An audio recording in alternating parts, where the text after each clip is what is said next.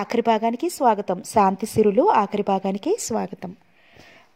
So మనము ఇక్కడ మళ్ళీ ఇంకొక అమ్మాయి తయారైంది. మనకి ఇంకొక మూర్ఖురాలు హీరోయిన్ కదా నందిని. ఈ అమ్మాయి ఏం చేస్తుందో ఏంటో. ఆ అమ్మాయి మనల్ని బాధ పెట్టి వదిలింది కదా సవిత అశుని మరి ఇక్కడ ఈ అమ్మాయి నందిని మన కృష్ణ జయంతిని ఏం చేస్తుందో.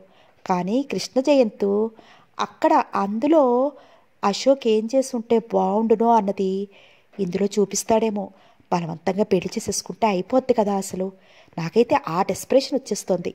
వాళ్ళకి వాల్యూ ఇవ్వటం ఏంటి కుర్చీ కట్టి పడేసి పెళ్ళి చేసుకుంటే అయిపోద్ది కదా. సో సింపుల్ కదా? ఆ డెస్పిరేషన్ వచ్చేస్తుంది. సరే కథలోకి వెళ్ళిపోయి ఆ పని మన జయంత చేశాడేమో చూద్దామా? కథలోకి వెళ్ళిపోదాం. ఇదే ఆఖరి భాగం. నందిని ఇంటికి వచ్చాక ఒళ్ళు తెలియని జ్వరంతో మంచం మీద పడి ఉంది. కృష్ణ జయంతికి ఏమీ తోచలేదు. ఎక్కడికి వెళ్ళబుద్ధి పుట్టడం లేదు. రెండు పూటల డాక్టర్ వచ్చి చూస్తున్నాడు. ఇంజెక్షన్లు చేసి మందులు ఇస్తున్నాడు. అయినా జ్వరం తగ్గలేదు. జ్వరంలో కలవరింతలు ఎక్కువైపోయాయి. సుందర్ నిన్ను చంపేసినా పాపం లేదు. నిన్ను చంపితేనే గాని నా కక్ష తీరదు. సుందర్ నిన్ను నమ్మి మోసపోయాను. ఛీ దుర్మార్గుడా నీ ముఖం చూస్తేనే పాపం అంటూ కలవరిస్తుంటే కృష్ణ జయంత్ ఆమె తల మీద చెయ్యి వేసి నిమరసాగాడు. నందు మృదువుగా పిలిచాడు. అన్నదే గాని కళ్ళు తెరవలేదు. ఆమె చెంపలు నిమిరి నందు నేను ఒక్కసారిగా కళ్ళు విప్పి చూ చూడు అన్నాడు. నేను ఒక్కసారి కళ్ళు విప్పి చూడు అన్నాడు. అతడి చెయ్యి గట్టిగా పట్టుకుంది కానీ కళ్ళు తెరిచి చూడలేదు. నాకు భయమేస్తోంది. నన్ను వదిలి వెళ్ళకండి. మీరెవరు? మిమ్మల్ని చూసిన గుర్తులేదు. మీ పేరు? అంటూ ఆ చెయ్యి గుండెలకి దగ్గరగా చేర్చుకుని పట్టుకుంది. కృష్ణ జయంత్ ముఖము గంభీరంగా అయిపోయింది. అతని చెయ్యిని ఆమె ఎక్కడా వదలటం లేదు. నందు అతని కంఠస్వరంలో నిండుగా అనురాగం తొణికిసలాడింది ఆ రాత్రంతా ఆమె దగ్గర అలాగే కూర్చున్నాడు. ఆమె చెయ్యి విడవకుండా అతన్ని కదలనివ్వలేదు. వేళకి మందులు అవి అతనే స్వయంగా ఇస్తున్నాడు. నందిని కలవరిత్తలు మాని పడుకుంది. అలా ఆమె ముఖంలోకి చూస్తూ బరువుగా నిట్టూర్చాడు. ఎక్కడ ఉన్న నందిని ఎక్కడికి వచ్చింది? ఎంత విచిత్రంగా పరిచయం అయింది? ఆ అమ్మాయి తన ఇంటికే వచ్చి తన ఇంట్లోనే ఉంటుందని ఆనాడు ఊహించాడా? ఎప్పుడు ఏం జరుగుతుందో ఎవరితో ఎలా పరిచయం అవుతుందో తెలియదు కదా. ఈ నందిని మొదటి చూపులోనే తన మనసును ఆకట్టుకుని హృదయంలో వెన్నెల జ్యోతిని వెలిగించింది. అయితే ఆమె మనసు తన మీద లేదని సుందర్ని ప్రేమించి పెళ్ళి చేసుకోబోతోందని తెలిసిన మరుక్షణంలో హృదయం కొంచెం ఘర్షణ పడిన మాట నిజమే. అయినా మనసుకి ఎలాగో నచ్చ చెప్పి ఆమెను మనసులోంచి తొలగించడానికే ప్రయత్నించాడు. అయితే ఆమె తన మనసులో స్థానం పటిష్టంగా ఎవ్వరూ కదిలించలేనిదిగా చేసుకుంది. చేసేది లేక ఆమెను మనసులో రహస్యంగా ఆరాధిస్తూనే వాళ్ళ పెళ్ళికి బయలుదేరాడు. వాళ్ళ పెళ్ళి తప్పిపోవాలని తను ఎప్పుడూ కోరుకోలేదు. అయినా వాళ్ళ పెళ్ళి తప్పిపోయింది. సుందర్ అంటే ఆమెకు అసహ్యం కరిగిపోయింది. ఇప్పుడు నందినిపై ఎవ్వరికీ అధికారం లేదు. అంతా ఆమె ఇష్టం. ఆ ఇంట్లో ఆమె ఎన్నాళ్ళుంటుంది? నలుగురు ఏమనుకుంటారు? ఒక పెళ్ళి కాని అమ్మాయిని తెచ్చి ఇంట్లో పెట్టుకున్నాడని అనుకోరు? అనుకుంటే అనుకోని తనకి భయమా? నందిని ఇష్టపడితే తను పెళ్ళి చేసుకోవడానికి ఎలాంటి అభ్యంతరమూ లేదు. మరి ఆమె ఇష్టపడద్దు? సుందర్తో పెళ్ళి చూ పెళ్ళి అంటే అసహించుకుంది కానీ అతన్ని మర్చిపోయిందన్న నమ్మకం ఏమిటి? ఆ విషయం ఆమె చెప్పాలి. ఆమె ఇష్టపడితే తను పెళ్ళి చేసుకోవడానికి సిద్ధమే. తనకి ఆమెపై ఎలాంటి అనుమా అనుమానం లేదు. నిండు మనసుతో భార్యగా స్వీకరించగలడు. రెండు రోజుల తర్వాత నందినికి జ్వరం తీవ్రత కాస్త తగ్గింది. మర్నాటికి బాగానే ఉంది. మూడవ నాటికి పూర్తిగా తగ్గిపోయింది. ఆ రోజు నందిని పచ్చని తీసుకుంది. ఆమెకు ఒంట్లో నీరసం తగ్గలేదు. అలా తన గదిలోనే పడుకుని ఉంటుంది. కృష్ణ జయంతి ఉదయం ఎక్కడికైనా వెళ్ళినప్పుడు గది గుమ్మం దగ్గరికి వచ్చి పలకరించి వెళ్ళిపోతాడు. మళ్ళీ రాత్రి పడుకోబోయే ముందు వచ్చి పలకరిస్తాడు. అంతే అంతకు మించి ఎక్కువ ఆమెతో మాట్లాడడు. ఒక వారం రోజులు గడిచిపోయాయి. నందినికి ఆ ఇంట్లో కాస్త తగ్గి చనువుగా తిరుగుతోంది. ఆమెకు పూర్తి ఆరోగ్యం చేకూరింది. కృష్ణ జయంత్ ఆమెకు ఒక డజను చీరలు జాకెట్లు అన్నీ తెప్పించాడు. ఆమె ఆలోచించి ఒక నిర్ణయానికి వచ్చింది. ఏదైనా ఉద్యోగం చూసుకుని ఇంట్లో నుంచి వెళ్ళిపోవటం మంచిది అని. ఆ మాటే కృష్ణ జయంతితో అంది. నాకు ఏదైనా ఉద్యోగం చూసి పెట్టండి. ఎన్నాళ్ళు ఇలా మీ ఇంట్లో ఉంటాడు? ఉంటాను. అతను విని ఊరుకున్నాడు. ఏమీ మాట్లాడలేదు. చేతిలో పుస్తకం చూస్తూ కూర్చున్నాడు. ఆమెకు అనుమానం కూడా వచ్చింది. అతను తను చెప్పిన మాట విన్నాడా లేదా అని. తిరిగి అడిగే ధైర్యం మాత్రం లేకపోయింది. రెండు రోజుల తర్వాత అతనికి ఈ విషయం మళ్ళీ గుర్తు చేసింది. కృష్ణ జయంత్ ఆ విషయం అప్పుడే కొత్తగా విన్నట్టుగా చూశాడు. నీకు ఉద్యోగమా? ఎందుకు? అంత ఉద్యోగం చేయవలసిన అవసరమే వచ్చింది? అన్నట్టున్నాయి అతని చూపులు. నందిని విస్తిపోయినట్టయింది డబ్బు ఉన్న వాళ్ళకి ఇదే జబ్బు. ఉద్యోగం చేస్తేనే కానీ మాకు అవదు. అని తనలాంటి వాళ్ళు చెప్పినా అతని లాంటి డబ్బు ఉన్న వాళ్ళకి ఆ బాధలు అర్థం కావు. తనలో తను విసుక్కున్న పైకి మెల్లగా అంది. మీరు నాకు ఏదో ఒక ఉద్యోగం చూపిస్తే చూపిస్తే? అన్నట్టు తల తిప్పి సూటిగా చూశాడు. అతని చూపులతో తన చూపులు కలపలేనట్టు కొద్దిగా తడబడినట్టు అయ్యి తన చూపులు తిప్పుకుంది. కృష్ణ జయంత్ కంఠస్వరం శాంత గంభీరంగా వినిపించింది. ఇప్పుడు నువ్వు ఈ పరిస్థితిలో ఉద్యోగం చేసి వేరే ఉండటం అంత మంచిది కాదు. నేను బాగా ఆలోచించే ఈ నిర్ణయానికి వచ్చాను. కొద్ది రోజులు పోయాక నీకు అంతగా ఉద్యోగం చెయ్యాలి అనిపిస్తే అప్పుడు నీకు ఏదో ఒక ఉద్యోగం చూపిస్తాను. ఇక నువ్వు ఈ విషయం గురించి కేమీ మాట్లాడకు.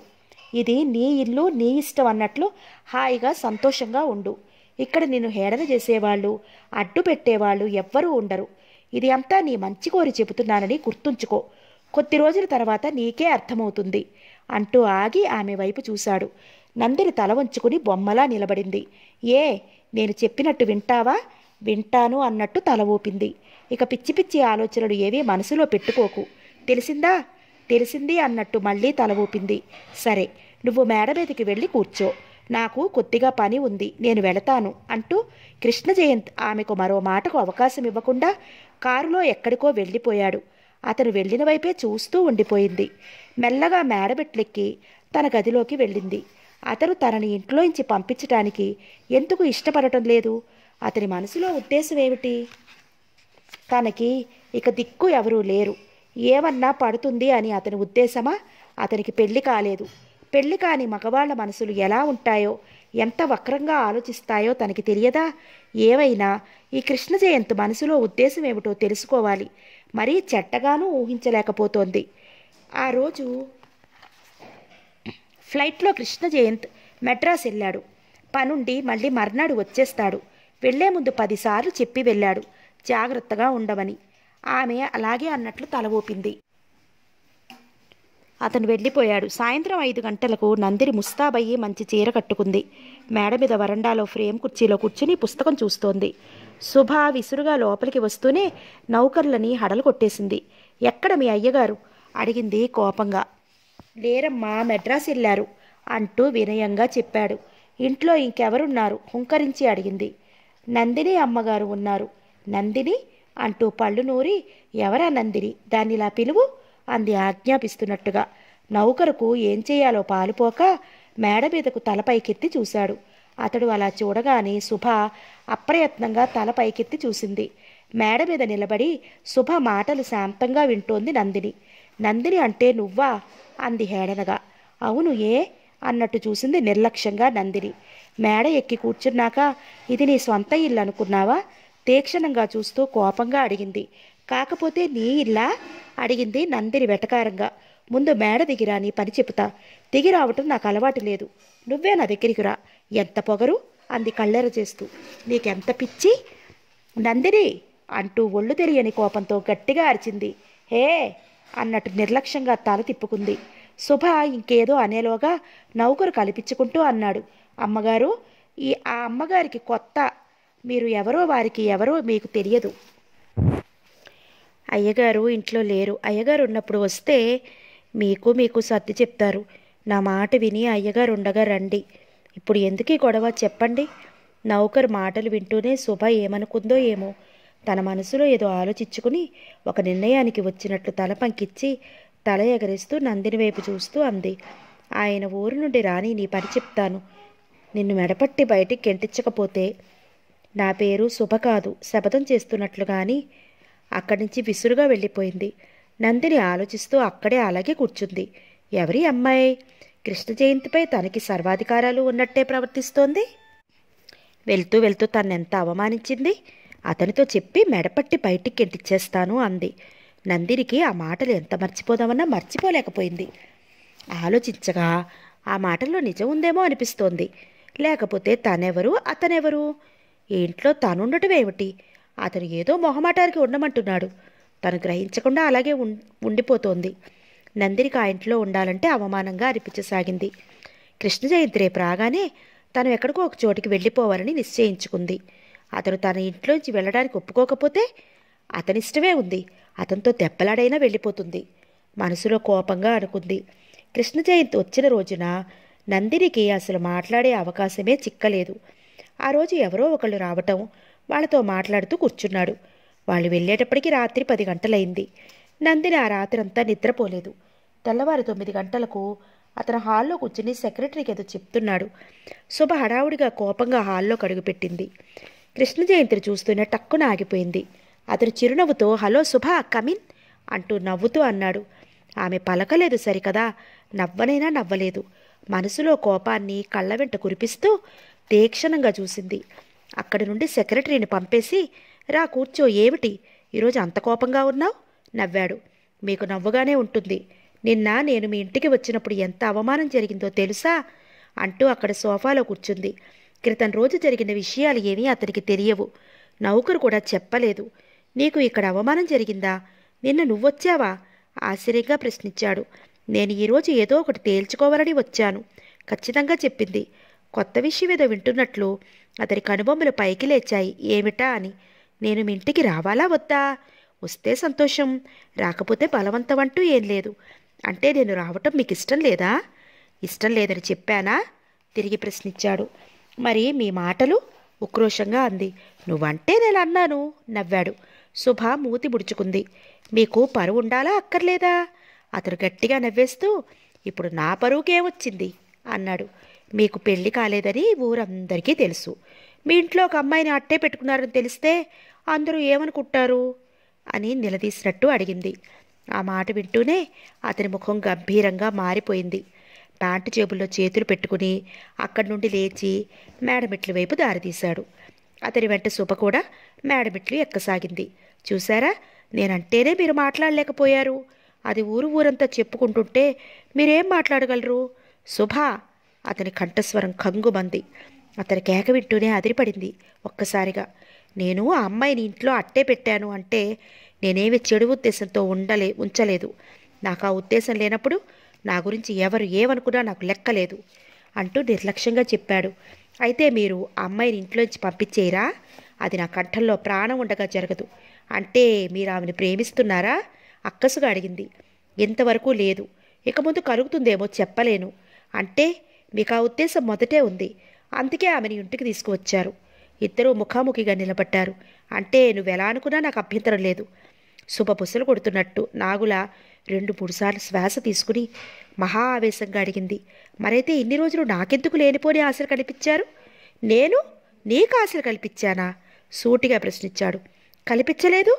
కృంగతి కంగ్ రెట్టిస్తున్నట్టుగా అడిగింది. నిన్ను ప్రేమించానని పెళ్ళి చేసుకుంటానని ఎప్పుడు నీతో చెప్పలేదే? అది నువ్వు అనుకున్నావంటే ఆ తప్పు నాది కాదు. కృష్ణ జయంతి గారు గట్టిగా అరిచింది. అతను లెక్క చేయనట్టు నిర్లక్ష్యంగా తల తిప్పుకుని మేడమిట్లు ఎక్కసాగాడు. శుభ నిల్చుని చోటనే ఆగిపోయింది. మీ సంగతి దాని సంగతి ఏమిటో మా అన్నయ్య వచ్చాక తేలుస్తాను అంటూ గిర్రుడు తిరిగి మేడమిట్లు గబగబా దిగి వీధిలోకి వెళ్ళిపోయింది. ఆ రోజంతా కృష్ణ జయంతి మనసులో ఏమీ బాలేదు. ఆ రాత్రి కృష్ణ జయంతి గదిలో పడుకుని పుస్తకం చదువుకుంటున్నాడు. గుమ్మం దగ్గర అలికిడవటంతో తల తిప్పి చూశాడు. నందిని గుమ్మం దగ్గర నిలబడి కట్టెన అంచును సరిచేస్తోంది. ఆమె అలా నిలబడటం అతని గ్రహింపైంది. తనకి ఏదో విషయం చెప్పడానికి వచ్చింది అని లేచి మంచం మీద కూర్చున్నాడు. నందిని అంటూ పిలిచాడు. కళ్ళెత్తి అతని వైపు చూసింది. మీతో కొద్దిగా మాట్లాడాలని అంటూ మాటలు ఆపేసింది. రా వచ్చి ఏంటో చెప్పు. ఆమె మెల్లగా ఆ గదిలోకి వచ్చింది. అతను సోఫాకు చూపించి కూర్చోమని చెప్పడంతో కూర్చుంది. ఏమిటో చెప్తానన్నావు? ఆమె మౌనం చూసి ప్రశ్నించాడు. తల ఊపి మెల్లగా అంది. నేను మీ ఇంట్లో ఉండటం ఎవరైనా చూస్తే బాగుండదు అందుకని ఆ పై మాటలు ఆపేసింది. అందుకని రెట్టించినట్టు అడిగాడు.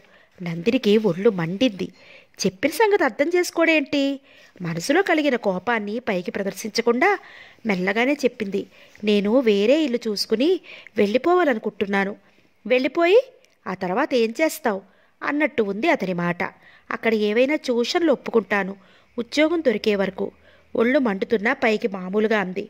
అయితే ఒక పని చెయ్యి అంటూ ఆమె ముఖంలోకి చూశాడు. ఏమిటి అన్నట్లు చూసింది.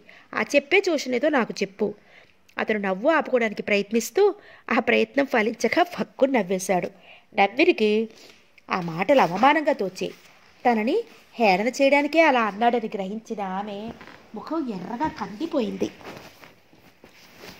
ఆమె చటుక్కున లేచి కిర్రున వెనుతిరిగింది కృష్ణ జయంతి చటుక్కున మంచం మీద నుండి లేచి ఒక్క అడుగు ముందుకు వేసి ఆమె చెయ్యి అందుకున్నాడు. నందిని టక్కున ఆగిపోయింది. వెనుతిరిగి చూస్తూ కృష్ణ జయంత్ ఆ చేతిని అలాగే పట్టుకుని దగ్గరకు లాక్కున్నాడు. ఆమె భుజాలపై రెండు చేతులు వేసి తనకు అభిముఖంగా చెప్ తిప్పుకుని నందు మృదువుగా పిలిచాడు. ఆ పిలుపులో లోకంలో ఉన్న ప్రేమంతా ప్రోగు చేసినట్టుగా ఉంది. ఆమె అతని వైపు భయంగా చూసింది. అతని పట్టు విడిపించుకో నీ పారిపోవాలనుంది. నందు నేను ఇవన్నీ ఆలోచించలేదు అంటావా? ఈ సమస్యలకు పరిష్కార మార్గం ఏమిటో నేను ఎప్పుడూ ఆలోచించాను. నీకు ఇష్టమైతే మనిద్దరం పెళ్ళి చేసుకుందాం. పాపిగా చిరునవ్వుతో చెప్పాడు. మొదట ఆమె నమ్మలేనట్టుగా చూసింది. ఆ తర్వాత నిజమే అని తెలిసాక కళ్ళల్లో కాంతి లాంటిది వచ్చి వెంటనే మాయమైంది. ముఖం నల్లగా మాడిపోయింది. చెప్పు నందిని నీకు ఇష్టమైతే మనిద్దరం వెంటనే పెళ్ళి చేసుకుందాం. నందిని తల వంచుకుంది. మాట్లాడలేదు. చెప్పు నందిని నీకు ఇష్టమైతేనే పెళ్ళి జరుగుతుంది. దీనిలో బలవంతం ఏమీ లేదు. చెప్పు అంటూ ఆమె భుజాలు పట్టి ఊపాడు. కళ్ళెత్తి అతని వైపు చూసింది. సుందర్ కూడా ఒకప్పుడు ఇలాగే అడిగాడు. తను ఎంత దూరంగా ఉన్నా కవ్వించి నవ్వించి పెళ్ళి అంటూ తన మనసు మార్చేశాడు. పరువుగల కుటుంబంలో అమ్మాయి పెళ్ళి మాట చెప్తేనే లొంగుతుంది. అది గ్రహించి పైకి పెద్ద మనుషుల్లా నటిస్తూ పెళ్ళి అనే వల విసురుతారు. అది తనలాంటి అమ్మాయిలు నిజమని నమ్మి ఆ వలలో చిక్కుకుంటారు. ఒకసారి సుందర్ విషయంలో అలా నమ్మి మోసపోయిన తరువాత తిరిగి మోసపోతాననుకుంటున్నాడు ఈ పెద్ద మనిషి. లేకపోతే ఈ కృష్ణ జయంతి లక్షాధికారి. తనని వివాహం చేసుకుంటాడా? నిజంగా తను నమ్మేటంతా తెలివి తక్కువదా అని అనుకుంటున్నాడా? ఆమె కళ్ళల్లో ఆశ్చర్యం శాంతం సిగ్గు అన్నీ క్రమంగా కరిగిపోయి ఆ కళ్ళల్లో కఠినత్వం కోపం పరుచుకున్నాయి. నువ్వు ఆ సుందర్ లాంటి వాడివే కదా? అన్నట్టు ఉన్నాయి ఆమె చూపులు. తన భుజాల మీద గుచ్చి పట్టుకున్న అతని చేతులు తొలగించబోయింది. అతను వదలలేదు. నీ సమాధానం విట్టే గాని నేను వదిలిపెట్టను. నాకు నాకు అంటూ తడబడింది. నీకు? ఏమిటి? రెట్టిస్తూ అడిగాడు. నాకు ఈ పెళ్ళి ఇష్టం లేదు. మెల్లగా హీనస్వరంతో అంది. ఏ? ఎందుకని? అతని కనుబొమ్మలు ముడిపడ్డాయి. ముఖంలో కళ్ళల్లో చిరాకు అసహనం తొంగి చూసింది. నాకు ఇష్టం లేదు ముక్తసరిగా చెప్పింది. అదే ఎందుకు ఇష్టం లేదు అని అడుగుతున్నాను. ఇష్టం లేదని చెప్పాను అంతే. కారణం అంటూ ఏమీ లేదు. ఖచ్చితంగా చెప్పింది. అతని చేతులు వెంటనే ఆమె భుజాలు వదిలేశాయి. నీకెందుకు ఇష్టం లేదో నాకు తెలుసు అన్నాడు సూటిగా చూస్తూ. అతను గ్రహించిన సంగతి ఏమిటా అన్నట్లు ప్రాణం ఉక్కపట్టుకుని వినసాగింది. నువ్వు సుందర్ లాంటి మోసగాళ్ళనే నమ్ముతావు. వాళ్ళే నీ కంటికి అందంగా యోగ్యులుగా కనిపిస్తారు కోపంగా అన్నాడు. ఆ మాట వినటంతోనే దెబ్బతిన్నట్టు చూసింది. ఎంత మాట అన్నాడు? తను సుందర్ లాంటి మోసగాళ్ళనే నమ్ముతుందా? నువ్వు ఇంట్లోకి ఎలా వచ్చావో నాకు అనవసరం. ఇంట్లోంచి వెళ్ళటం మాత్రం నా ఇష్టం మీదే ఆధారపడి ఉండు ఉంటుంది. అన్న సంగతి మర్చిపోకు. బెదిరిస్తున్నారా? ఎలా వెళ్ళనివ్వరో నేను చూస్తాను అంది పంటం పట్టినట్టుగా. సరే ఎలా వెళ్తావో నేను చూస్తాను పట్టుదలగా చెప్పాడు. రోషావేశాలతో గిర్రుడు తిరిగి అక్కడి నుంచి వెళ్ళిపోయింది. నందిరికి దుఃఖం ఆగలేదు. వెళ్ళి మంచం మీద బోర్లా పడుకుని బోరున ఏడవసాగింది. ఇప్పుడు కృష్ణ జయంతి అసలు రూపం బయటపడింది. పెళ్ళి చేసుకుంటానని తను నమ్మించబోయాడు. తనకిష్టం లేకపోగా లేదనగానే ఇంట్లోంచి వెళ్ళడానికి వీల్లేదంటున్నాడు. నాపై ఇతని పెత్తనం ఏమిటి? కష్ట సమయంలో ఆదరించాడు. అతను చేసిన ఉపకారం తను ఎప్పటికీ మర్చిపోలేదు. అంత మాత్రానికి తనని మరబొమ్మరి చేసి ఆడిస్తాను అంటే తను ఒప్పుకుంటుందా? చస్తే ఒప్పుకోదు. రాజ్యం ఇంటికి వస్తే వాళ్ళ అమ్మ నాన్నగారు తనని రెండు రోజులు ఆదరించరా? తను వాళ్ళ ఇంటి పక్కనే చిన్న గది అద్దెకి తీసుకుని నలుగురు పిల్లలకి ట్యూషన్ చెప్తే తన పొట్టకి తను పోషించుకోలేదా? రాజ్యం ఇల్లు ఎక్కడుంది అడ్రస్ రిక్షా కట్టించుకుని అక్కడికి వెళ్తే ఇల్లు గుర్తించగలదు. వాళ్ళకి సుందర్ పెళ్ళి విషయం తెలిస్తే వాళ్ళ బంధువుల అబ్బాయే కదా. ఏమిటి చేయటం? ఆలోచించసాగింది. అంతగా తెలియదేమో పోనీ వాళ్ళ ఇంటికి ఒకసారి వెళ్ళి రాజ్యం నాన్నగారి ఉద్యోగం గురించి అడిగితే? అవును ముందు ఉద్యోగం చూసుకుని అప్పుడు ఇంట్లోంచి బయటపడాలి. ఇంట్లోంచి వెళ్ళడం అంత సులభం కాదు. అతను ఎక్కడికైనా వెళ్ళినప్పుడు వెళ్ళాలి అని నిశ్చయించుకుంది. ఇల్లు విడిచి బయటకు వచ్చేసిన ఆడపిల్లకు గౌరవమైన స్థానం ఎవ్వరూ ఇవ్వరు. కన్నతల్లే ఉంటే తని తప్పు చేసినా కడుపులో పెట్టుకునేది. సుందర్ మాటలు నమ్మి తనంత తేలిగ్గా మోసపోయింది. తన తెలివితేటలన్నీ ఏమయ్యాయి? ఇల్లు విడిచి రాగానే ఈ రావణాసురుడి కొంపలో పడింది. తను కదిలితే భయం మాట్లాడాలి అంటే భయం. ఆ రాత్రంతా కుమిలి కుమిలి ఏడుస్తూ పడుకుంది. కృష్ణ జయంతి సాయంత్రం ఐదు గంటలకు నందిరుడి పిలిచి చెప్పాడు. త్వరగా తయారవు. ఇద్దరూ ఒక చోటికి వెళదాం.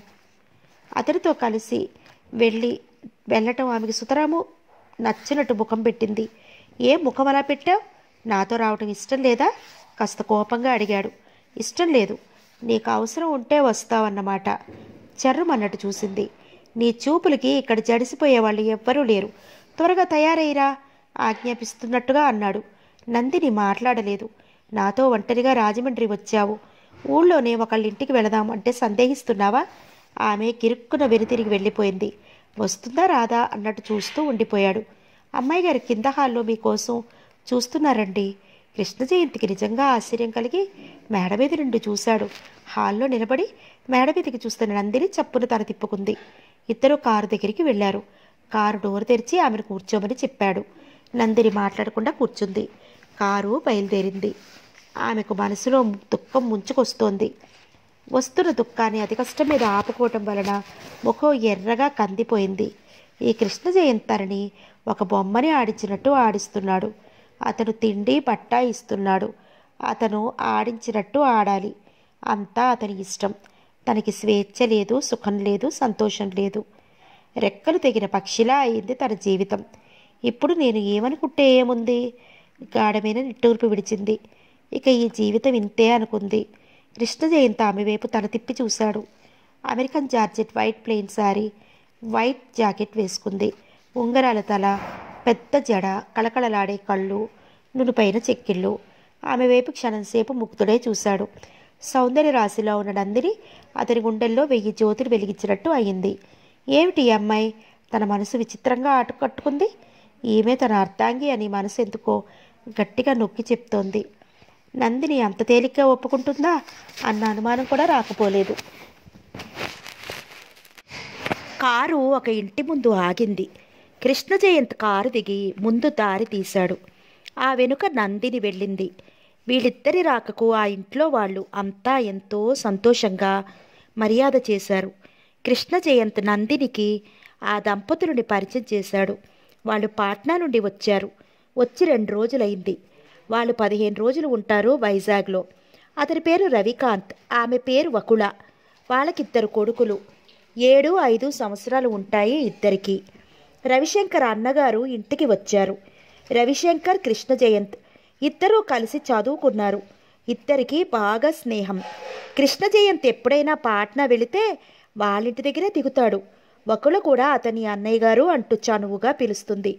వాళ్ళ మంచితనం చూసి అతని మీద కోపం మరిచి వాళ్ళతో సరదాగా కలిసిపోయింది. ఆ రాత్రి అక్కడ వాళ్ళింట్లోనే భోజనం చేశారు ఇద్దరు. వకుల నందిని గురించి అడిగింది. చదువు ఉద్యోగం గురించి చెప్పి అక్కడ మానేసి ఇక్కడ వైజాగ్లో ఉద్యోగం కోసం ప్రయత్నిస్తున్నట్టు చెప్పింది. ఆ మాట వినటంతో వకుల ఆశ్చర్యంగా చూసింది. మీరు ఉద్యోగం కోసం ప్రయత్నిస్తున్నారా అని అడిగింది. ఏమిటి అంత ఆశ్చర్యంగా అడుగుతుంది? ఏమే అని మనసులో అనుకుంటూ ఆ మాటే పైకంది. ఏమిటి అలా ఆశ్చర్యపోతున్నారు? ఉద్యోగం చేయకుండా ఎన్నాళ్ళలా కూర్చుంటాను? అంటూ నవ్వింది. మీరు ఉద్యోగం చేస్తాను అంటే మా అన్నయ్య గారు ఒప్పుకున్నాడా? వకుల మాటలతో నందిని ముఖం గంభీరంగా మారిపోయింది. తన విషయంలో అతని పెత్తనం ఏమిటి? వీళ్ళందరూ ఏమనుకుంటున్నారు? అతని ఇంట్లో ఉంటుంది. అంతా అతని ఇష్ట ప్రకారమే నడుస్తుంది అనుకుంటున్నారా? అనుకోని మహా అనుకుంటే ఒక పది రోజులు. ఆ తర్వాత ఇంట్లో నుంచి తను వెళ్ళిపోతుంది. అప్పుడు అతనెవరో తనెవరో? ఒప్పుకుంటారు. ఎందుకు ఒప్పుకోరు అంటూ రాని నవ్వు బలవంతంగా పెదవుల మీదకి తెచ్చుకుంది. అంతలో కృష్ణ జయంత్ చనువుగా లోపలికి వచ్చాడు ఏమ్మా మా ఇంటికి మీరంతా ఎప్పుడొస్తారు? అంటూ ఒకడుని అడిగాడు. మీ బావగారు ఎప్పుడంటే అప్పుడే అంటూ నవ్వింది. ఏమిటి? అంటూ రవిశంకర్ వచ్చాడు. వకుల భర్తకి చెప్పింది. ఆ దానికేముంది? రేపు వచ్చేస్తామంటూ నవ్వుతూ చెప్పాడు. మాటల మధ్యలో వకుల మర్చిపోకుండా అడిగింది. అన్నయ్య వదిన చేత ఉద్యోగం చేయిస్తావా? కృష్ణ జయంతికి మొదట ఆ మాటలు అర్థం కాలేదు. నందిని వైపు చూశాడు. ఆమె తనని వరుస కలిపి పిలుస్తుంటే అతని వైపు చూస్తుంటే నందిని ముఖం ఎర్రగా కందిపోయింది. అప్రయత్నంగా కనురెప్పలు క్రిందకి వాలిపోయాయి. ఏమిటన్నయ్య మాట్లాడవు అని మళ్ళీ అడగటంతో అతనికి విషయం కొంతవరకు అర్థమైంది.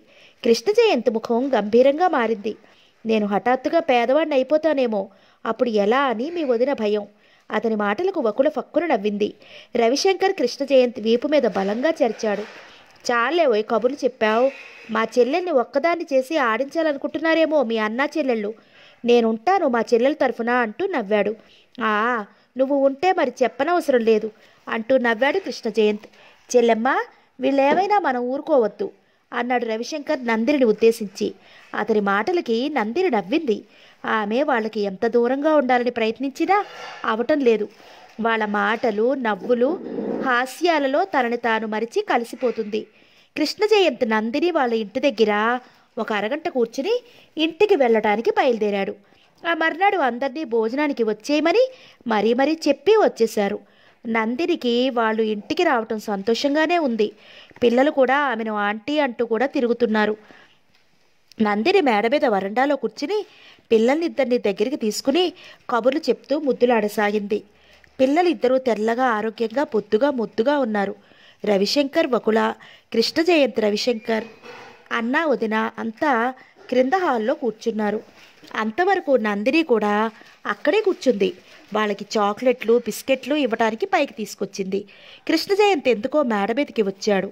వస్తూనే కళ్ళకు కనిపించిన దృశ్యం చూస్తూనే అలా క్షణం సేపు నిలబడిపోయాడు. పిల్లలిద్దరూ నందిని చుట్టేసి కబుర్లు చెప్పుతూ నవ్వుతున్నారు. బూట్లు చెప్పుడవడంతో నందిని తల తిప్పి చూసింది. కృష్ణ జయంతి నడుము మీద చేతులు ఆనించుకుని రెప్ప వాల్చకుండా నవ్వుతూ తన వైపే చూడటంతో చటుక్కున లేచి నిలబడింది. ఆమె దగ్గరగా రెండు అడుగులు వేసి ఆమె వైపే సూటిగా చూస్తూ చిరునవ్వుతో మెల్లగా అన్నాడు. నీకు పిల్లలంటే అంత ఇష్టమని నాకు తెలియదు సుమా. అతని వైపు చురుక్కున చూసింది. ఆ మాట అతను ఏ అర్థం మీద అన్నాడా అన్నట్టు. నేను ఇన్ని రోజులు ఏమో అనుకున్నాను. నీకు ఒక చిన్న బాబు తోడు ఉండాల్సిందే అంటూ నవ్వాడు. అతని కళ్ళల్లో కాంతి తళుక్కున వెరిసింది కళ్ళల్లో కొంటతనం చోటు చేసుకుంది. అతని మాటలు మాటల్లో అర్థం గ్రహిస్తూనే నందిని చెంపలు సిక్కుతో ఎర్రబడ్డాయి. కనురెప్పలు బరువుగా క్రిందికి వాలిపోయాయి. ఏం మాట్లాడాలో ఎలా నిలబడ్డాలో తోచక తోచనట్టు క్రింది పెదవి పై పెదవితో నొక్కిపెట్టి అలాగే బొమ్మలా నిలబడిపోయింది. కృష్ణ జయంతి నవ్వుకుంటూ అక్కడి నుంచి వెళ్ళిపోయాడు. వకుల మేడ మీదకి వచ్చింది. నందిని ఆమె అక్కడికి రావటం గ్రహించలేదు. అతని మాటలు ఇంకా చెవుల్లో మారుమోగుతున్నాయి. అతని మాటల్లో అర్థం అంటే నందిని ఆమె ఇక్కడికి రావటం గ్రహించలేదు. అతని మాటలు ఇంకా చెవుల్లో మార్పులోగుతున్నాయి అతని మాటల్లో అర్థం అంటే ఆమెకు ఆ ఆలోచన పట్టి విడవటం లేదు. ఆ మాటలే మళ్ళీ మళ్ళీ గుర్తుకు తెచ్చుకుంటూ నిలబడింది. సిక్కుతో ఎర్రబడిన ఆ వదనం ఇంకా అలా ఎర్రగానే ఉంది. నందిని భుజం మీద చెయ్యి పడటంతో ఒక్కసారిగా ఉలిక్కి పడ్డట్టయి తల తిప్పి చూసింది. కృష్ణ జయంత్ ఒక పది నిమిషాల ముందు మేడ మీదకి వెళ్ళటం వకులు చూసింది. వకుల ఫలానా విషయం అని గ్రహించకపోయినా చూచాయిగా అర్థం చేసుకుంది. వయసులో ఉన్న ఓ యువతీ యువకులు ఒకే ఇంట్లో ఉండటం జరిగితే వారి మధ్య ఆకర్షణ పెరిగి అనురాగం ఉదయించటం సహజం. కృష్ణ జయంతి నందిని మనసులో అనురాగం ఉదయించటంతో ఆశ్చర్యపడవలసింది ఏమీ లేదు. కృష్ణ జయంత్ అందరిలాంటి మనిషి కాడు. మంచితనం వ్యక్తిత్వంలో అతనికి అతనే సాటి. అతనికి ఇంతవరకు ఏ అమ్మాయి నచ్చలేదు. ఎవరి ఆకర్షణలో ఎవరి ప్రేమలో పడలేదు. ఇన్ని రోజులకి నందిని దగ్గరయ్యి ఆమెకు తన ఇంట్లో స్థానం ఇచ్చాడు అంటే ఆమెను అతను వివాహం చేసుకుంటాడనే అర్థం. అందుకే వకుల నందిరిని వదిన అని పిలుస్తోంది. కృష్ణ జయంత్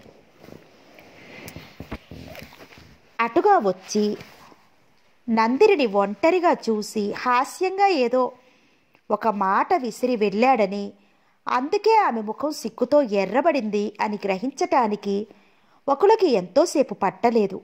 నందిని ఆమె వైపు తల తిప్పి చూడటంతో వకుల నవ్వింది. ఆ నవ్వు మామూలుగా లేదు. తన మనసులో అంత క్లిష్టమైన అంతర్లీనమైన నిగూఢ భావాన్ని ఆమె కరుగున్నట్టు ఉంది. మనసులో దాక్కున్న మధుర రహస్యం ఆమె ఎక్కడ కనిపెట్టేస్తుందో అన్నట్లు నందిని కాస్త తొట్టు పడింది.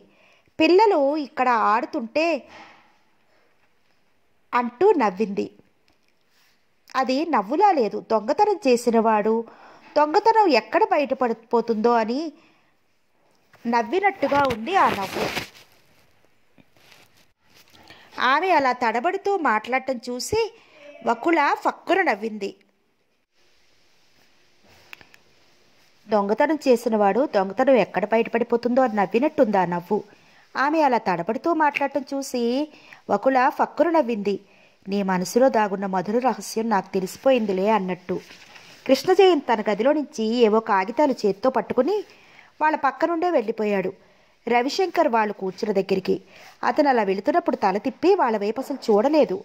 అతను మేడ మీద ది- మేడ దిగి వెళ్ళిపోయాక వకుల నందిని భుజాలపై చెయ్యి వేసి తన వైపుకు తిప్పుకుంటూ వదినా ఏమిటలా ఉండిపోయావు? అంటూ ఆమె ముఖంలోకి సూటిగా చూస్తూ అడిగింది. ఆ ఏమీ లేదంటూ నవ్వేసి పదండి ఆ గదిలో కూర్చుందాం అంది మాట మారుస్తూ. నేను ఒక మాట అడగనా? ఆమె కళ్ళు కొంటెగా మెరిశాయి. ఏమిటో అడగమన్నట్టు కళ్ళతోనే సూచించింది నందిని. వకుల ఆమె చెవిలో గుసగుసలాడింది. నందిని ఆమె మాటలు వింటూనే ముఖం పక్కకు తిప్పుకుంది. హృదయంలో దాగున్న మధురమైన భావాలు గుండెల్లోకి ఒక్కసారి ఉప్పెరలా పొర్లాయి. కృష్ణ జయంత్ అంటే ఆమెకు ఎలాంటి అభిప్రాయం లేకపోయినా ఆమె వయస్సు ఒంటరితనం ఆ మాటలతో నరకంలో తే నర నరంలో తేనె ప్రవహిస్తోంది.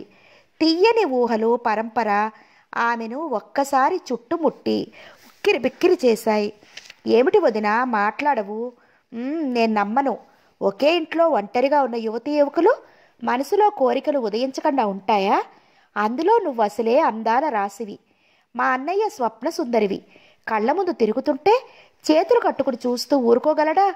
నిన్ను రెండు చేతులతో పెనవేసి అంటూ హాస్యంగా ఇంకేదో అనబోతుండగా నందిని వకుల చే నోటిని చటుక్కున మూసేసింది.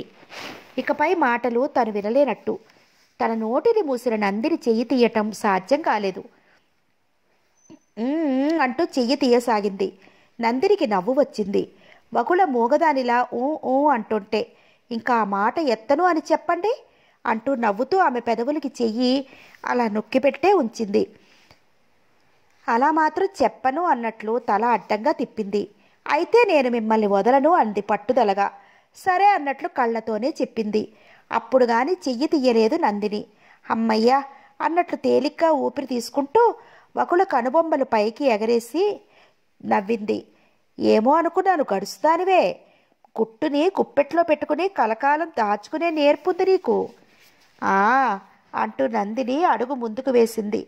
వకులని అందుకోవాలనే ఉద్దేశంతో. అది గ్రహించుకున్న వకుల గబగబా మెట్ల వైపు దారితీసింది. నవ్వుతూ ఆమెకు అందకుండా తప్పించుకోవటం కోసం. వెనక నందిని ఇద్దరూ ఒకరి వెనక ఒకరు మేడమెట్లు ఎక్కుతూ నవ్వుతూ గబగబా దిగసాగారు. హాల్లో కూర్చుని వాళ్ళతో మాట్లాడుతున్న కృష్ణ జయంత్ చటుకున్న తల ఎత్తి చూశాడు. వాళ్ళు అలా నవ్వుకుంటూ గబగబా మెట్లు దిగి రావటం కళ్ళపడింది. ఈ ఆడవాళ్ళు ఉన్నారే? వాళ్ళు చాలా చిత్రానికి చిత్రమైన వాళ్ళు. వాళ్ళకి ఇష్టమైందో యుగ యుగాల తరతరాలుగా స్నేహం ముడిపడి ఉంది. అన్నట్టుగా ఆ స్నేహానికి ప్రాణాలు అప్పగించేస్తారు. లేదా వాళ్ళతో ఆ- ఆరు జన్మల బద్ధవైరం ఉన్నట్టు పచ్చగడ్డి వేస్తే పక్కుమంటుంది వారి మధ్య. స్నేహంగా ఉండాలన్నా వాళ్ళకే చెల్లింది. తగువు రావాలన్నా వాళ్ళకే చెల్లింది. కృష్ణ జయంతికి నవ్వు వచ్చింది. వాళ్ళిద్దరూ కూడా అక్కడే వచ్చి కూర్చున్నారు.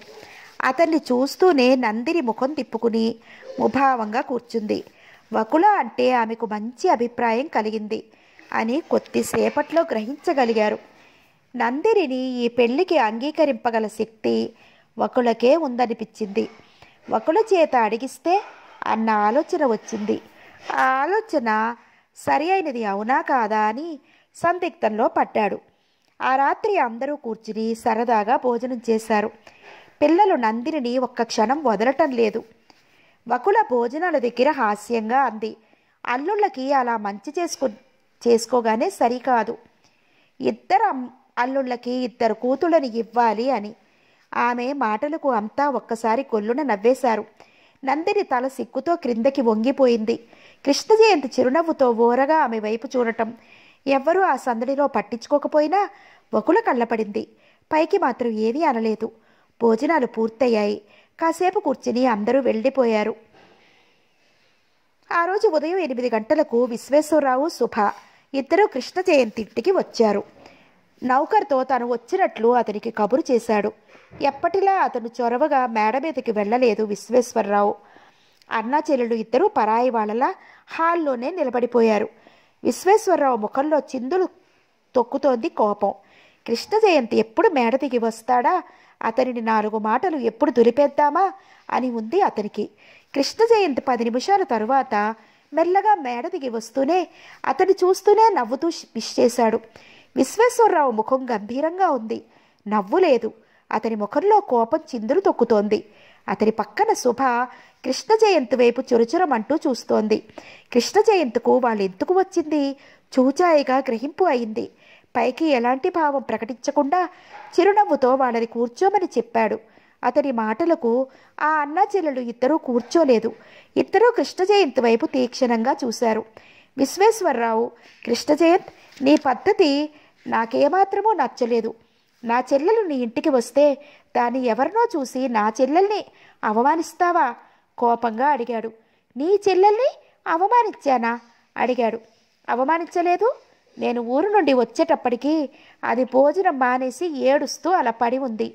దానిని అలా చూడగానే నా గుండె నీరైపోయింది దాన్ని నేను ఎలా పెంచారో నీకు తెలుసు అంటూ ఆగాడు. ఇప్పుడు ఏం జరిగింది? తాపీగా ప్రశ్నించాడు. అది నువ్వంటే ఇష్టపడి ప్రాణం పెడుతుంది. నువ్వు అలా దాన్ని ఎవరినో ఇంటికి తీసుకొచ్చి నా చెల్లెల్ని అనరాని మాటలు అని అనుమానిస్తావా? నిలదీసి అడిగాడు. శుభ నిన్న ఏమన్నాను? నిన్ను ఏమన్నాను? కృష్ణ జయంత ఆమె వైపు చూస్తూ అడిగాడు. మీరు ఏమీ అనకుండా నేనెందుకు చెప్తాను? కోపంగా అంది. ఆమెకు కళ్ళ నీరు గిర్రున తిరిగింది. నువ్వు ఉన్నవి లేనివి ఊహించి నన్ను నేరస్తుండి చేసి నిలదీసి అడుగుతుంటే అలా అన్నాను. కాబోయే భర్తను ఆ మాత్రం కూడా అడిగే అధికారం శుభకి లేదంటావా? సూటిగా ప్ర- వచ్చింది ప్రశ్న. ఆ ప్రశ్న వింటూనే కృష్ణ జయంతి ముఖం శాంత గంభీరంగా మారిపోయింది. భర్తను నిలదీసి అడిగే హక్కు భార్యకు ఎప్పుడూ ఉంటుంది. ఆ మాట నేను ఎప్పుడూ కాదనను. ఆ మాట వినటంతో అన్నా చెల్లెలు ఇద్దరి ముఖాల్లో సంతోషరేఖ తళుక్కుమంది. కానీ అది క్షణికం మాత్రమే. మరుక్షణం వారి ముఖాల్లో కోపంతో ఎరుపు రంగుకు మారాయి. ప్రతి అమ్మాయికి నన్ను నిలదీసే హక్కు లేదు. మీ చెల్లెలు ఆ విషయం మరిచి మాటలు విసరటంలో మరి కాస్త ముందుకు అడుగు వేసిందనే చెప్పాలి. కృష్ణ జయంత్ పట్టరాని ఆవేశంతో అరిచాడు. ఆ పిలుపుకి అతను నిర్లక్ష్యంగా చూశాడు. ఆ చూపుల్లో ముఖంలో గర్వరేఖ తొంగి చూసింది. ప్రతి ఐశ్వర్యవంతుల ముఖంలో ఎప్పుడూ గర్వరేఖ నాట్యం చేస్తూనే ఉంటుంది. నా చెల్లెలు నీ భార్య అని అనుకున్నా మేము అంతా అందుకే అది అంత చనువుగా మీ ఇంటికి వచ్చేది. మీరు అంతా అనుకున్నా నేనెప్పుడూ అలా అనుకోలేదు. నా ఇంటికి చనువుగా వచ్చింది అంటావా? ఇంటికి వచ్చిన వాళ్ళని ఎవరూ పొమ్మని అనలేరు. అది నా తప్పు కాదు. శాంతంగానే చెప్పినా ఆ మాటలు చాలా పదురుగా ఉన్నాయి. విశ్వేశ్వరరావు ఒక క్షణం అలా ఉండిపోయాడు. తరువాత తేరుకుని అన్నాడు అయితే ఇప్పుడు ఏంటంటావు? నా చెల్లెల్ని పెళ్ళి చేసుకోనంటావు అంతేనా? ఇన్ని రోజులు మా దగ్గర ఆ మాట అనని నువ్వు ఇప్పుడు అంటున్నావు. అంటే మేము ఆ మాత్రం అర్థం చేసుకోలేమా? నువ్వు ఎక్కడి నుండో తీసుకొచ్చావే ఇది అంతా దాని మహత్యం. దాని వలలో పడిపోయి అంటూ ఇంకేదో వాగబోతుంటే విశ్వేశ్వరరావు కృష్ణ జయంతి కంఠం పిడుగు పాటులా వినిపించింది. ఆ అమ్మాయిని అది ఇది అంటే మాత్రం మర్యాద దక్కదు జాగ్రత్త. ఆ అమ్మాయి ఎవరనుకుంటున్నారు? నా కాబోయే భార్య. ఆమెను నేను త్వరలో వివాహం చేసుకోబోతున్నాను. అయితే నా చెల్లెలు కోపంగా అడిగాడు. నాకు ఆ విషయం అవసరం అనవసరం. నీ చెల్లెలు పెళ్ళి నీ ఇష్టం. మరి ఇన్నాళ్ళు ఎందుకు ఇలా నమ్మించి దానికి లేనిపోని ఆశలు ఎందుకు కల్పించావు? నేనెప్పుడూ మిమ్మల్ని నమ్మించి మీ చెల్లెలకి లేనిపోని ఆశలు కల్పించలేదు. పెళ్ళి మాటే మీ దగ్గర నేను ఎప్పుడూ ఎత్తలేదు. మీరు అనుకుని నా వెంట తిరగటం అది నా తప్పు మాత్రం కాదు. అయితే నా చెల్లెల్ని చేసుకోనంటావు. ఆ మాట నేను వేరే చెప్పనవసరం లేదు. సర్లే నువ్వు చేసుకోను అన్నంత మాత్రానా? దానికి పెళ్ళవకుండా అలా ఉండిపోదు. నువ్వు మాత్రం తరువాత నిజంగా విచారిస్తావు. అది నీతో సరిగా ఈ ఇంట్లో ఉంటుంది అని అనుకోను. అయితే నువ్వు మాత్రం అయినా నువ్వు మాత్రం ఏం తక్కువ? ఆడపిల్లల్ని ఆట బొమ్మల్ని చేసి ఆడించటంలో నీకు నువ్వే సాటి. ఈ పెళ్ళి ఎలా జరుగుతుందో నేను చూస్తాను అంటూ గట్టిగా కేకలు వేసి చెల్లెలితో వెనుతిరిగాడు. విశ్వేశ్వరరావు మాటలు వింటూనే కృష్ణ జయంత్ మండిపడ్డాడు. చటుక్కున అతని కాలర్ పట్టి ఆపి ఆ చెంప ఈ చెంప వాయించేయాలన్నంత ఆవేశం వచ్చింది. ఆవేశాన్ని అతి కష్టం మీద ఆపుకున్నాడు. తను చెయ్యి చేసుకుంటే పెద్ద గొడవ అయిపోతుంది.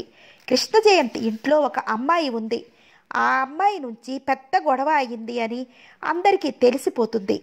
నందిని మేడ మీద ఎక్కడో ఉంది. ఆమె గురించి విశ్వేశ్వరరావు చులకనగా ఏదైనా ఒక మాట అంటే ఇప్పుడే మారుతున్న ఆమె మనసు దెబ్బతింటుంది. అన్నీ ఆలోచించిన మీదట వాళ్ళు వెళుతుంటే మౌనంగా అలా చూస్తూ ఉండిపోయాడు. కారు స్టార్ట్ అయ్యి వెళ్ళిపోయిన శబ్దం వినిపించిందాకా అక్కడే ఉండి మేడమెట్లు వైపు దారి తీశాడు విశ్వేశ్వరరావు మాటలు చెవుల్లో మారుమోగుతుంటే అతను తల వంచుకుని మెల్లగా ఒక్కో మెట్టి ఎక్కసాగాడు. మెట్లు దగ్గర చప్పుడు అవటంతో అప్రయత్నంగా తల ఎత్తి చూశాడు. పైమట్టు మీద నందిని నిలబడి అతని వైపే సూటిగా చూడసాగింది. విశ్వేశ్వరరావు మాటలు ఏమి విన్నదా లేదా? అన్న సందిగ్ధంలో పడ్డాడు. ఆమె చూపుల్లో అర్థం గ్రహించడానికి ప్రయత్నిస్తూ. నందిని క్షణం సేపు అలాగే చూసింది అతని వైపు. అతని చూపులతో ముడిపడిన మరుక్షణం ఆమె చూపులు తిప్పేసుకునేది ప్రతిసారి. కానీ ఆ రోజు దానికి వ్యతిరేకంగా జరగటంతో కృష్ణ జయంత్ మనసులోనే ఆశ్చర్యపడ్డాడు. నందిని మనసులో కలిగిన కోపాన్ని దిగమింగుకుంటూ విసురుగా తల తిప్పుకుని పక్కకు వెళ్ళిపోయింది. కృష్ణ జయంత్ ముఖం ఎప్పటిలా శాంతంగానే ఉంది. ఒక అరగంట తర్వాత కృష్ణ జయంతి ఎవరో రావటంతో వాళ్ళతో కలిసి కారులో ఎక్కడికో వెళ్ళాడు. నందినికి ఎంత వద్దనుకున్నా విశ్వేశ్వరరావు మాటలు గుర్తు రాసాగాయి. ఎంతమంది ఆడపిల్లల్ని ఆట బొమ్మలు చేసి ఆడించారో అని అచ్చు తన మనసులో అనుకున్నట్టే అతను అన్నాడు. ఆ అమ్మాయి నాకు కాబోయే భార్య. నేను ఆమెను త్వరలో వివాహం చేసుకోబోతున్నాను అని కృష్ణ జయంత్ అన్న మాటలు కూడా ఆమె చెవిన పడకపోలేదు. అయితే అతని మాటల కంటే విశ్వేశ్వరరావు మాటలు ఆమె చెవుల్లో నుంచి మస్తిష్కంలోకి వెళ్ళి ఆమెపై చాలా పనిచేశాయి కృష్ణ జయంత్ ఆ రోజు ఉదయమే పని ఉంది అంటూ ఎక్కడికో వెళ్ళిపోయాడు. తిరిగి రాత్రి తొమ్మిది గంటలకు గాని రాను అని చెప్పాడు. నందిని ఇదే సమయమని నిశ్చయించుకుని రాజ్యం వాళ్ళ ఇంటికి బయలుదేరింది. అంతకు ముందు నుంచి నౌకర్లను మామూలుగా ఏ బస్సు ఎక్కడికి వెళ్తుంది అని అడిగి తెలుసుకుంది. కృష్ణ జయంతిని అడిగినా చెప్పడు. నీకు బస్సుల సంగతి ఎందుకు? ఎక్కడికైనా వెళ్ళాలి అంటే కారులో వెళ్ళు అంటాడు. అందుకే అతన్ని ఏమీ అడగలేదు. నౌకర్లకి ఒకళమ్మ గారి ఇంటికి వెళ్ళి వస్తాను అని చెప్పి బయలుదేరింది. బస్సు ఎక్కి రాజ్యం ఇంటికి వెళ్ళింది. రాజ్యం వాళ్ళ ఇల్లు బస్ స్టాప్కి దూరమైన గుర్తుపెట్టుకుని ఎలాగో తెలుసుకుంది. ఆ ఇల్లు తాళం వేసి ఉంది. వీధిలో చిన్న గది ఉంది. ఆ గది తలుపు తెరిచి ఉంది. గదిలోకి తొంగి చూసింది. ఎవరో ఒకతను మంచం మీద పడుకుని ఉన్నాడు. ఆమెను చూస్తూనే మంచం మీద నుండి చటుక్కున లేచి నిలబడి మర్యాదగా ఎవరు కావాలండి? అంటూ ప్రశ్నించాడు. ఆమెను పరిశీలనగా చూసిన అతను గుర్తు తెచ్చుకుంటున్నట్లుగా అన్నాడు. మీరు రాజ్యం పెళ్ళికి వచ్చినట్టున్నారు? అవునండి. మీరు? అంటూ ప్రశ్నార్థకంగా చూసింది. రాజ్యం నాకు మావయ్య కూతురు. నేను పెళ్ళికి వచ్చాను అంటూ చెప్పాడు. ఇంటికి తాళం వేసి ఉంది? వాళ్ళంతా ఎక్కడికి వెళ్ళారు? చాలా నెమ్మదిగా మర్యాదగా అడిగింది. వాళ్ళంతా కర్నూలు పెళ్ళికి వెళ్ళారు. నన్ను నాలుగు రోజులు ఇక్కడ ఉండమన్నారు అంటూ అతడు చాలా మర్యాదగానే మాట్లాడాడు. నాలుగు రోజుల వరకు రారా? నిరాశగా చూసింది. ఎంతో ఆశపడి వచ్చాను. ఇప్పుడు ఎలా? అన్నట్టు ఉన్నాయి ఆమె చూపులు. అతను ఆమె ముఖం చూస్తూనే గ్రహించుకున్నాడు. ఏదో పని ఉండి వచ్చింది. ఇప్పుడు వీళ్ళు ఊరు వెళ్ళారు అనగానే నిరాశ పడిపోయింది అని. మీరు ఏదైనా పని ఉండి వచ్చారా? అవునన్నట్లు తల ఊపింది. ఆ పని ఏమిటో నేను తెలుసుకోవచ్చా? అతను అని అడగగానే చెప్పాలా మానాలా అన్న సందిగ్ధంలో పడింది. అది గ్రహించి ఆ మీకు అభ్యంతరం లేకపోతేనే చెప్పండి అంటూ నవ్వాడు. ఆమె క్షణం సేపు అతని వైపు చూసి చెప్పటానికే నిశ్చయించుకుంది. మీరు ఇలా కూర్చుని విషయం ఏమిటో వివరంగా చెప్పండి. అక్కడున్న కుర్చీ కొద్దిగా ముందుకు జరిపాడు. ఒక్క క్షణం సందేహించినట్టు నిలబడి ఏమనుకుందో ఏమో అతను చూపించిన కుర్చీలో కూర్చుంది. అతడు ఆమెకి ఎదురుగా మంచం మీద కూర్చుని ఇప్పుడు చెప్పండి ఏమిటో అన్నట్టు చూశాడు. నేను బియ్యి బియ్యడి చదివాను. ఈ వైజాగ్లో కానీ మరెక్కడైనా కానీ ఏదైనా ఉద్యోగం చూపించగలరేమో అడుగుదామని వచ్చాను. అలాగా? అన్నట్లు క్షణంసేపు ఏదో ఆలోచిస్తూ తల పంకిచ్చాడు. మీరు క్లర్క్ ఉద్యోగమైనా సరే చేస్తారా? ఎందుకు చెయ్యను? ఏ ఉద్యోగమైనా సరే చేస్తాను. ఆమె కంఠస్వరం దృఢంగా పలికింది. మీకు ఉద్యోగం ఇప్పుడు అంత అవసరమా? నిజంగా చాలా అవసరం. అతను ఏదైనా ఉద్యోగం ఇప్పించగలడన్న ఆశ ఆమెలో మొలకెత్తింది. మీరిప్పుడు ఎవరింట్లో ఉంటున్నారు? మీరు రాజ్యం పెళ్ళికి ఏదో ఊరు నుండి వచ్చినట్టు గుర్తు? నందిని ముఖం తెల్లగా పాలిపోయింది. ఇప్పుడు తను కృష్ణ జయంతి ఇంట్లో ఉంటున్నట్టు చెప్పాలా? ఒక ఫ్రెండ్ ఇంట్లో ఉంటున్నాను నీరసంగా చెప్పింది. అలాగా మీరు ఉద్యోగం చేయడం మీ ఇంట్లో వాళ్ళందరికీ ఇష్టమేనా? ఇష్టమే అన్నట్లు తల ఊపింది. ఉద్యోగం చేయడానికి మీ వాళ్ళెవరు అడ్డు చెప్పరు అంటే మీకు నేను ఏదో ఒక ఉద్యోగం ఇప్పించగలను నమ్మకంగా చెప్పాడు. అతను అంత నమ్మకంగా చెప్పటంతో నందిని కళ్ళల్లో ఆశ తలుక్కున మెరిసింది. లేదు మా వాళ్ళందరికీ ఇష్టమే అంటూ చెప్పింది. అలా చెప్పటంలో ఉద్యోగం తనకి ఎంత అవసరమో ఎంత త్వరగా ఉద్యోగం తనకి వస్తుందా అన్న ఆతృత ఆమె కళ్ళల్లో స్పష్టంగా కదిలింది. ఆ సంగతి అతను గ్రహించేశాడు. ఉద్యోగం ఆమెకు చాలా అవసరం. అందుకు ఆమె ఎవరి సాయమైనా అర్థిస్తుంది అని. తన పేరు సాయిప్రసాద్ అని తను ఎన్ఏడిలో పనిచేస్తున్నట్టు చెప్పి ఒక ప్రైవేట్ కంపెనీలో ఒక ఉద్యోగం ఖాళీగా ఉందని ఆ కంపెనీ ప్రొపరేటర్ తను బాగా తెలుసు అని కూడా అని తను కూడా వస్తే ఆ ప్రొపరేటర్ని తీసుకెళ్ళి పరిచయం చేస్తాను ఆ ఉద్యోగం మీకు తప్పక వచ్చేటట్టు చేస్తాను అంటూ నమ్మకంగా చెప్పాడు. ఆ మాట వినటంతోనే నందిని ముఖం సంతోషంతో వెలిగిపోయింది. ఆ సాయి ప్రసాద్ తనకి తప్పక ఉద్యోగం ఇప్పించగలడన్న నమ్మకం కలిగింది. కానీ అంతలోనే ఏదో ఆలోచన వచ్చింది. ఇతనితో ఒంటరిగా ఆ ప్రొపరేటర్ ఇంటికి వెళ్ళాలా అని. ఆమె మనసులో ఉద్దేశం గ్రహించినట్టుగా అన్నాడు. ఆ ప్రొపరేటర్ ఇల్లు ఇక్కడికి ఎంతో దూరం లేదు. నేను దగ్గరుండి తీసుకెళ్ళి మీకు ఆ ఉద్యోగం ఇస్తానని నమ్మకంగా చెప్పాక నేను దగ్గరుండి మీ ఇంటి దగ్గర దిగపెట్టి వస్తాను. నందిని మనసులో ఆలోచించుకుంది. తను ఎవరో తెలియకపోయినా తనకి ఎలా అయినా ఉద్యోగం ఇప్పించడానికి ప్రయత్నిస్తున్నాడు.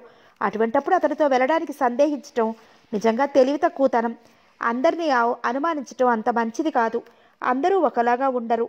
మనసులో ఒక నిశ్చయానికి వచ్చినట్లు అలాగే వస్తాను. ఎప్పుడు వెళదాం? అని అడిగింది. ఎప్పుడో ఎందుకు? ఇప్పుడే వెళదాం. ఉత్సాహంగా అన్నాడు. నందిని తల ఊపింది. ఆమెకు మనసులో చాలా ఆనందంగా ఉంది.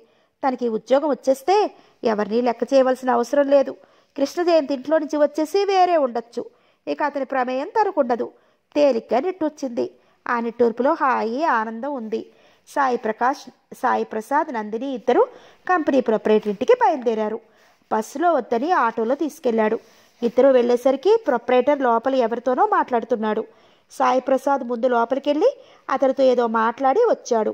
నందిని లోపలికి రమ్మని వేరే గదిలోకి తీసుకెళ్ళాడు సాయి ప్రసాద్ అరగంట తర్వాత వచ్చిన అతన్ని పంపించేసి ప్రొపరేటర్ నందిని ఉన్న గదిలోకి వచ్చాడు. సాయి ప్రసాద్ ఆమెను పరిచయం చేశాడు. ప్రొపరేటర్ నందిని వైపు కళ్ళప్పగించి అలా చూస్తూ కూర్చోమని చెప్పాడు. నందిని ఇబ్బందిగా కూర్చుంది. సాయి ప్రసాద్ ప్రొపరేటర్కి కళ్ళతో సైగ చేస్తూ అదో రకంగా నవ్వి ఆమె వైపు చూసి ఇప్పుడే వస్తారని చెప్పి వెళ్ళిపోయాడు. నందిని అతడు వెళ్ళిపోగానే మనసులో చాలా కంగారు పడింది. పైకి లేని ధైర్యం కూడా తీసుకుని అలా బొమ్మలా కూర్చుంది.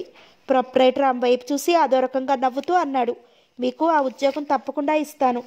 నందిని అతని వైపు కృతజ్ఞతగా చూసింది. అతను ఉద్యోగం గురించి చాలాసేపు మాట్లాడాడు. అతను చెప్పిన మాటలు మొదట శ్రద్ధగా విన్నా రాను రాను ఆ మాటలు ఆమె చెవికెక్కలేదు. అతను చెప్పినదే పదిసార్లు చెప్తున్నాడు. నందిని సాయిప్రసాద్ కోసం చూడసాగింది. ఎందుకో అతని చూపులు ఆమెకు అసహ్యం వేస్తున్నాయి. ముళ్ళ మీద కూర్చున్నట్లు కూర్చుంది. టైం అవుతున్నా సాయిప్రసాద్ రాలేదు. టైం ఏడు గంటలు దాటింది. నందిని గుండెలు ఒక్కసారి దడదల్లాడాయి ఇందులో ఏదో మోసం ఉందనిపించింది. తను ఇంట్లో చిక్కుకుంది. ఎలా బయటపడటం నందిని బుర్రా చురుగ్గా ఆలోచించసాగింది. సాయిప్రసాద్ వచ్చిందాకా కూర్చుంటే అతడు ఏ టైంకి వస్తాడో బాగా ఆలోచిస్తుంటే తనని ఇక్కడ కావాలని వదిలేసి వెళ్ళినట్లు అనిపిస్తోంది. ఇంకా ఇక్కడే కూర్చుంటే తన జీవితం ఇక అంతే. ఇంట్లోంచి బయటపడితే ఇంటికి ఎలాగోలాగా చేరుకోవచ్చు అని నిశ్చయించుకుని మెల్లగా అంది. సాయిప్రసాద్ గారు ఎన్ని గంటలకు వస్తారో? నేను వెళ్తానండి అంటూ లేచి నిలబడింది. ప్రొపరేటర్ ఆమె వైపు ఆశ్చర్యంగా అదొక రకంగా చూశాడు. నేను వస్తానండి అంటూ మళ్ళీ చెప్పింది. తన మాట అతనికి వినిపించిందో లేదో అన్నట్లు. అదేమిటి? మీకు ఉద్యోగం కావాలని వచ్చారు? వెళ్ళిపోతానంటారేమిటి? అంటూ నవ్వాడు. అతను నవ్వు చూస్తుంటే ఆమె కంపరంగా అనిపించింది. అతని వయసు యాభై సంవత్సరాలు ఉన్నా యువకుల్లా ఉండాలనే ప్రయత్నం కనిపిస్తోంది అతనిలో. మాటిమాటికి క్రాఫ్ సర్దుకుంటున్నాడు. కాలర్ సర్దుకుంటూ ఆమె వైపు అదో రకంగా చూస్తున్నాడు. అతని చూపులు ఆమె ఒంటి మీద తేళ్ళు చెర్రులు పాకినట్టు అనిపించింది. రండి మేడ మీద నా గదిలో కూర్చుందాం అంటూ లేచి నిలబడ్డాడు. నందిని ఏదో సమాధానం చెప్పబోతుండగా కాలింగ్ బెల్ ఆగకుండా మోగసాగింది. ఇద్దరు ఉలిక్కిపడ్డట్టయ్యారు. వీధి తలుపు మూసి ఉందా? అనుకుంది ఆమె. ఈ సమయంలో ఎవరొచ్చారా? అనుకున్నాడు అతను. ప్యూన్ వచ్చి చెప్పాడు. నందిని గారి కోసం కారు వచ్చింది అని. ఆ మాట వినటంతోనే ఆమె అంతెత్తున మీద నుండి కింద పడినట్టయింది. తన కోసం కారు వచ్చిందా ఎవరు పంపించారు? తను ఇక్కడికి వచ్చినట్లు కృష్ణ జయంతికి తెలియదు కదా. ఆమెకు తెలివి తప్పి పడిపోతానేమో అన్నంత పనైంది ప్రొపరేటర్ ఆమె వైపు చూశాడు. అతనికి ఏమీ అర్థం కాలేదు. సాయిప్రసాద్ ఒకలా చెప్పాడు. ఈమెమో వెళ్ళిపోవాలంటోంది. ఈమె కోసం కారు కూడా వచ్చింది. ఎవరు పంపించారు అని అడిగాడు నమ్మకం కుదరక. కృష్ణ జయంత్ర గారట వారి డ్రైవర్ కారు తీసుకొచ్చాడు అంటూ చెప్పాడు ఆ ప్యూన్. అంతెత్తు మీద నుండి క్రింద పడినట్టు ఈసారి అతని వంతు అయింది. కాళ్ళలో ఒడుకు ప్రారంభమైంది. కళ్ళద్దాలు ముక్కు మీదకి లాగుతుంటే జారుతుంటే చేత్తో సర్దుకుంటూ అయోమయంగా ఆమె వైపు చూశాడు. ఆ చూపుల్లో అంతకుముందున్న భావాలు లేవు.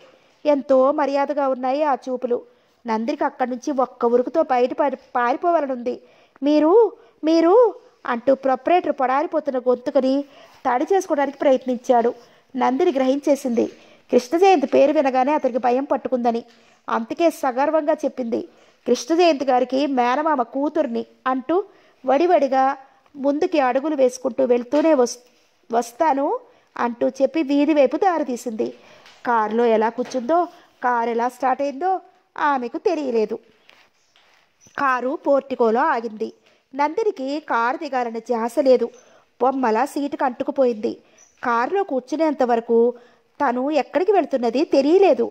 అతన్ని తప్పించుకు వచ్చేసానని సంతోషించిందే కానీ కృష్ణ జయంతి ఇంటి దగ్గర ఉంటే తను ఎదురుపడేది ఎలా అని ఆలోచించలేకపోయింది. నందినికి ప్రాణం నీరైపోయినట్టుగా ఉంది. కృష్ణ జయంతికి ఎలా తెలిసింది? ఆమె గుండెలు దడదడలాడాయి. ఎన్నడూ ఒకరికి భయపడటం తెలియని ఆమెకు ఏదో తెలియని భయం పట్టుకుంది. అతనుకు ఎక్కడికి వెళ్ళాలని అతను ఎక్కడికి వెళ్ళాలని అడిగితే నందినికి కారు దిగి లోపలికి వెళ్ళాలనిపించలేదు. కారులోనే తెల్లవార్లు కూర్చోవాలనిపిస్తోంది. ఎవరైనా తెలిసిన వాళ్ళు ఉంటే వాళ్ళ దగ్గరికి పారిపోవాలనిపిస్తోంది. డ్రైవర్ ఆమె కారు దిక్కుండా అలా బొమ్మలా కూర్చోవడం చూసి అమ్మగారు అంటూ కారు దిగమని గుర్తు చేస్తున్నట్లుగా పిలిచాడు. ఆ అంటూ మెల్లగా కారు దిగి లోపలికి వెళ్ళింది. అంతే టక్కున ఆగిపోయి మంత్రించిన శిలా విగ్రహంలా నిలబడిపోయింది. హాల్లో సోఫాలో కృష్ణ జయంతి కూర్చుని కాళ్ళు టీపాయ్ మీదకి బారచాపి చేతులు కట్టుకుని వెనక్కి చేరపట్టాడు. అలా వెనక్కి చేతులు కట్టుకుని చేరపట్టంలో ఓ విధమైన టీవీ అతనిలో ఒలికిపోతోంది. నందిని అలా బొమ్మలా నిలబట్టం క్షణంసేపు రెప్పవాల్చకుండా సూటిగా చూశాడు కృష్ణ జయంతి. ఆమె కూడా అలా చూస్తూ ఉండిపోయింది. అతని చూపులు తీక్షణంగా ఉన్నాయి. నువ్వెక్కడికి వెళ్ళావు అని నిలదీసి అడుగుతున్నట్లుగా ఉన్నాయి ఆ చూపులు. సమాధానం చెప్పలేనట్టుగా ఆమె కడురెప్పలు క్రిందకి వాలిపోయాయి. లోపలికి వెళ్ళు. మృదు గంభీరంగా వినిపించింది అతని కంఠస్వరం. అతని మాటకి ఆమెలో చరణం వచ్చినట్లయి మెల్లగా అక్కడి నుంచి కదిలింది. అడుగు తీసి అడుగేస్తుంటే కాళ్ళకి ఇనప బండలు కట్టుకున్నట్టు అడుగులు బరువుగా పడుతున్నాయి. తన గదిలోకి ఎలా వెళ్ళిందో ఆమెకే తెలియదు. మంచం మీద పడుకున్నాక కూడా అవే ఆలోచనలు. తను రాగానే నిలబెట్టేసి గట్టిగా చివాట్లు వేస్తే మనసు తేలికయ్యేది. అలా కాకుండా కృష్ణ జయంత్ మౌనంగా అలా ఉండిపోవటం మరింత అవమానంగా ఉంది. భూకంపం లాంటిది ఏదైనా వచ్చి తను మంచంతో పాటు అందులో కూరుకుపోతే ఎంత బాగుండును అనిపిస్తోంది నందినికి. తను రాజ్యం ఇంటికి వెళ్ళి వెళ్ళటం అర్థం లేకుండా అయిపోయింది. ఉద్యోగం దొరకటం మాట అలా ఉంచి అవమానాల పాలైంది. కృష్ణ జయంత్ తన కోసం ఆ సమయంలో కారు పంపకపోతే తన ఇంట్లో ఇరుక్కునుండేది. నందినికి భయంతో శరీరం కంపించింది. వెన్ను మీద ఏదో జరజరా ప్రాకినట్టయింది. ఎంత మంచిగా ఉన్నా ఈ రోజుల్లో ఎవరినీ నమ్మకూడదని గట్టిగా నిశ్చయించుకుని తనకి తానే బుద్ధి చెప్పుకుంది. సుందర్ గుర్తుకొచ్చాడు. అతని వలన తను ఎంత మోసపోయింది? అటు ఉద్యోగాన్ని వదులుకుంది ఇటు పెళ్ళి కాకుండా అయింది. తనకు ఉద్యోగం దొరకటం కష్టమే పెళ్ళి కావటం కష్టమే. ఎన్నాళ్ళు ఇలా ఈ కృష్ణ జయంతి ఇంట్లో ఉంటుంది? తనని ఇంట్లో అట్టే పెట్టడంలో అతని ఉద్దేశం మగవాళ్ళ మనసులు ఏమిటో వాళ్ళ ఆంతర్యంలో ఏముందో ఎవ్వరికీ అర్థం కావు. కృష్ణ జయంతి పైకి మంచివాళ్ళ కనిపించినా అతను నమ్మలేకపోతోంది. నందిని ఆలోచిస్తూ అలా పడుకుంది. రెండు రోజులు గడిచిపోయాయి. కృష్ణ జయంతి ఎదురుపడాలంటే నందినికి ప్రాణం నీరైపోతున్నట్టుగా ఉంది. అందుకే అతని ఇంట్లో ఉన్నంతసేపు తన గది వదిలి బయటికి రావటం లేదు. ఆ రోజు అతను ఎక్కడికో వెళుతూ నందిని గది గుమ్మం దగ్గరకు వచ్చి నందిని అంటూ పిలిచాడు. డ్రెస్సింగ్ టేబుల్ వద్ద కూర్చుని తలదువ్వుకుంటున్న నందిని ఆ పిలుపు వింటూనే ఉలిక్కి పడింది తల తిప్పి గుమ్మం వైపు చూసింది. కృష్ణజయంతి గుమ్మం పొడవుగా నిలబడి ఉన్నాడు. చేతిలో దువ్వెన జారిపోయింది. అప్రయత్నంగా లేచి నిలబడి గుమ్మం వైపు రెండు అడుగులు వేసి అలాగే అక్కడే నిలబడిపోయింది. వకుల నిన్ను మళ్ళీ ఒకసారి తీసుకురమ్మని చెప్పింది. నువ్వు వస్తానంటే నాతో బయలుదేరు. నువ్వు అక్కడ దిగిపోదు గాని నేను అలా వెళ్ళిపోతాను. సాయంత్రం వచ్చి నేను తీసుకొచ్చేస్తాను అంటూ చెప్పాడు. నందిని మాట్లాడలేదు. ఆమెకు అక్కడికి వెళ్ళటం ఇష్టం లేదు. ఆ మాట పైకి చెప్తే అతను ఏమంటాడోనని భయం. అందుకే మౌనంగా ఉండిపోయింది. మాట్లాడితే ముత్యాలు రాలుతాయా? చివ్వన తలెత్తి చురుగ్గా చూసింది. కృష్ణ జయంతి పెదవులపై చిరునవ్వు లాస్యం చేసింది. కళ్ళల్లో కంతుతనం కొంటతనం చోటు చేసుకుంది. ఆమె ముఖం తిప్పుకుంది. ఈయన గారికి అంతా తమాషాగా ఉంది. వాళ్ళ ఇంటికి ఇప్పుడు దేనికి వెళ్ళటం? వాళ్ళు తనని వరుసలు కలిపి పిలవటం వింటుంటే ఎలాగో అనిపిస్తోంది. కృష్ణ జయంతికి తను భారీ కాబోటం లేదు కదా. అలా పిలుస్తుంటే తను ఎందుకు ఊరుకోవాలి? ఏ వెళ్తావా వెళ్ళవా? వెళ్ళను ఖచ్చితంగా చెప్పింది. ఎందుకని? శాంత గంభీరంగా వినిపించింది ఆ కంఠస్వరం. నాకు ఇష్టం లేదు నేను వెళ్ళను అంతే రోషంగా చెప్పింది. నువ్వు అంత మొండిగా చెప్తుంటే నాకేమనిపిస్తోందో తెలుసా? తాపీగా ప్రశ్నించాడు. ఏమనిపిస్తోంది? అన్నట్టు తల తిప్పి సూటిగా చూసింది అతని వైపు. ఎందుకు చెప్తే నీ కోపం వస్తుంది. కోపం రాదు ఏంటో చెప్పండి. కోపాన్ని మింగుకుంటూ పైకి శాంతంగా అడిగింది. ఒక్క క్షణం ఆగాడు. ఎంచేతో గడ్డంపై రాసుకుంటూ ఆమె వైపు చూశాడు. ఏమిటో చెప్పండి అంటూ కళ్ళతోనే సూచించింది.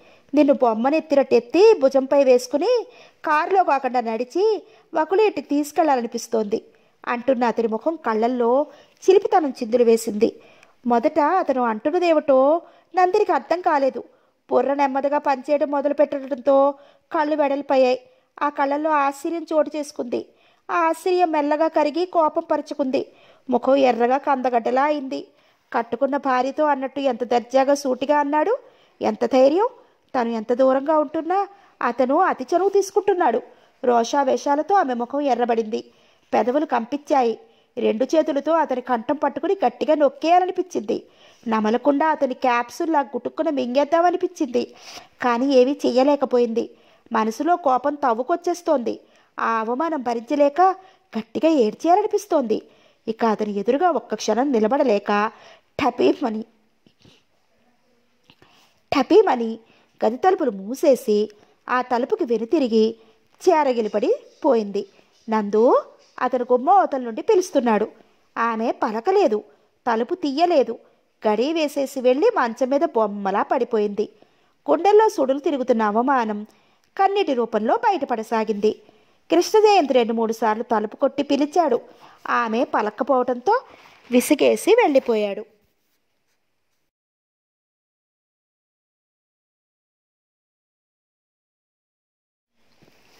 ఆ రోజు రవిశంకర్ పిల్లల్నిద్దరినీ తీసుకుని కృష్ణ జయంతి ఇంటికి వచ్చాడు. వాళ్ళ ఆంటీని చూస్తామని ఇంటికి తీసుకెళ్ళమని పిల్లలిద్దరూ ఒకటే గొడవ. భరించలేక ఈరోజు తీసుకువచ్చాను అంటూ నవ్వాడు రవిశంకర్. కృష్ణ జయంతి పిల్లల్ని రెండు రోజులు మా ఇంటి దగ్గర ఉంచేస్తాను అంటూ చెప్పాడు. పిల్లలు కూడా ఉత్సాహం చూపించారు. నందిని రవిశంకర్ని అన్నయ్య గారు అని పలకరించింది. వదిన గారిని కూడా తీసుకురాలేదేం అని అడిగింది. ఇక నాలుగైదు రోజుల్లో వెళ్ళిపోతాం కదా తీసుకువస్తాను అంటూ చెప్పాడు. అతను వద్దంటున్నా కాఫీ టిఫిన్ తెచ్చి తీసుకుంటేనే కానీ ఆమె ఊరుకోలేదు. కృష్ణ జయంతిలో లోపలే ఆశ్చర్యపోయాడు. నందిని అతనితో చనువుగా అన్నయ్య గారు అని పిలవటం ఇంటికి ఇల్లాలులాగా అతనికి మర్యాద చేయటం చూసి పైకి మాత్రం ఏమీ అనలేదు. రవిశంకర్ ఒక అరగంట కూర్చుని వెళ్ళిపోయాడు. అతని వెనకాల కృష్ణ జయంతి కూడా వెళ్ళిపోయాడు. వెళ్ళి సాయంత్రం వరకు రాలేదు. నందిని ఇద్దరు పిల్లలతో ఆడుతూ పాడుతూ నవ్వుతూ గడిపేసింది ఆ రోజంతా. నందిని పిల్లలతో మేడ మీద వరండాలో అక్కడ కుర్చీలో కూర్చుంది. ఒక బాబుకి కళ్ళు మూసి మరో బాబుని వెతుక్కోమంది. ఆ బాబు అవుట్ అయిపోతే మరో బాబుకి కళ్ళు మూయసాగింది. ఈసారి పిల్లలిద్దరూ ఆమెను ఆడమని పట్టుపట్టారు. ఇక నందినికి ఆడక తప్పలేదు. వెడల్పుగా ఉన్న రిప్పన్ ఒకటి కళ్ళకు కట్టుకుంది. పిల్లలిద్దరూ త్వరగా అవుట్ అయిపోయారు. ఆంటీ నీకు కనిపిస్తుందని రిప్పన్ కళ్ళకి ఇంకా బిగించి కట్టేశారు. నందిని ముఖం ముక్కు గిల్లి ఎవరు గిల్లారని అడిగారు ఇద్దరు. తప్పట్లు కొట్టి గట్టిగా నవ్వుతూ పెద్ద బాబు అంటూ నవ్వుతూ చెప్పింది. కాదు చిన్నబాబు అంటూ చెప్పడంతో పిల్లలిద్దరూ నవ్వుతూ గెంతసాగారు రిప్పను గట్టిగా కట్టడంతో కళ్ళు మండినట్టయి రిప్పను ముడి విప్పేసుకోబోయింది. పిల్లలిద్దరూ ఒప్పుకోలేదు. తీయటానికి వీల్లేదు అన్నారు. వాళ్ళిద్దరిని బతిమాలుకుంటే చివరికి ఇద్దరూ ఒప్పుకుంటూ చిన్న షరతు పెట్టారు. ఇద్దరికీ ముద్దిస్తే అప్పుడు రిప్పన్ ముడి విప్పేస్తామన్నారు. సరే అంది. పెద్దబాబు తన బుక్ అందిస్తే ముద్దు పెట్టుకుంది. మళ్ళీ రెండవ బుక్ అందిస్తే ముద్దు పెట్టుకుంది. అప్పుడే మేడ మీదకి వచ్చిన కృష్ణ జయంతి కళ్ళకు ఆ సంఘటన కనిపించడంతో చటుక్కున ఆగిపోయాడు మనసులో విచిత్రమైన చిత్రమైన ఆలోచన కలిగి మస్తిష్కంలో మెరుపులా మెరిసింది. అతను మేడ మీదకి రావడంతో పిల్లలిద్దరూ అతని వైపు చూశారు. తను వచ్చినట్టు చెప్పొద్దు అన్నట్టు నోటి మీద వేలు పెట్టుకుని ఆ పిల్లలకు సైగ చేశాడు. పిల్లలిద్దరూ అలాగే అన్నట్లు తల ఊపి నోరు వదిలేసి నవ్వుతూ నిశ్శబ్దంగా ఉండిపోయారు. ఏడి చిన్నబాబు అంటూ చేతులతో తడుముతూ ముద్దివ్వటం కోసం చిన్నబాబుని దగ్గరికి రమ్మన్నట్టు చేతులు చాపింది. కూర్చునే చిన్నబాబుని చేయి పట్టి దగ్గరికి లాక్కుంది. కృష్ణ జయంతి మెల్లగా ఆమె కూర్చున్న కుర్చీని సమీపించాడు. పిల్లలు నిశ్శబ్దంగా అతని వైపు చూసి నవ్వుతున్నారు. నందిని చిన్నబాబు చెంప మీద ముద్దు పెట్టింది. అయితే ఆ ముద్దు చిన్నబాబు చెంపకి తక్కలేదు. కృష్ణ జయంతి చెంపకి తగ్గింది. పిల్లలిద్దరూ గట్టిగా నవ్వేస్తూ చప్పట్లు కొట్టారు. నందిని ఒక్కసారి ఉలిక్కి పడింది. ఆమె పెదవులకి చిన్నబాబు చెంప మెత్తగా లేదు.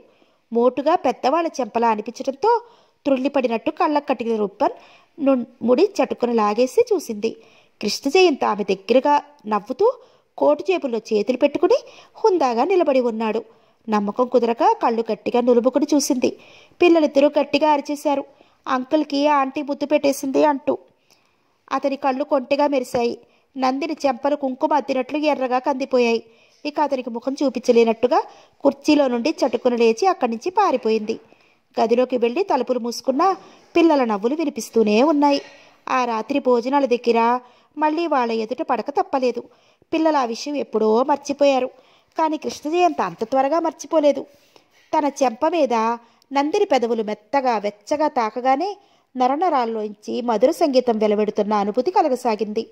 పిల్లలే కనుక అక్కడ లేనట్టయితే ఆమెను చేతులతో బంధించి హృదయానికి గట్టిగా హత్తుకుని ఒళ్ళంతా ముద్దులతో ముంచెత్తేయాలని.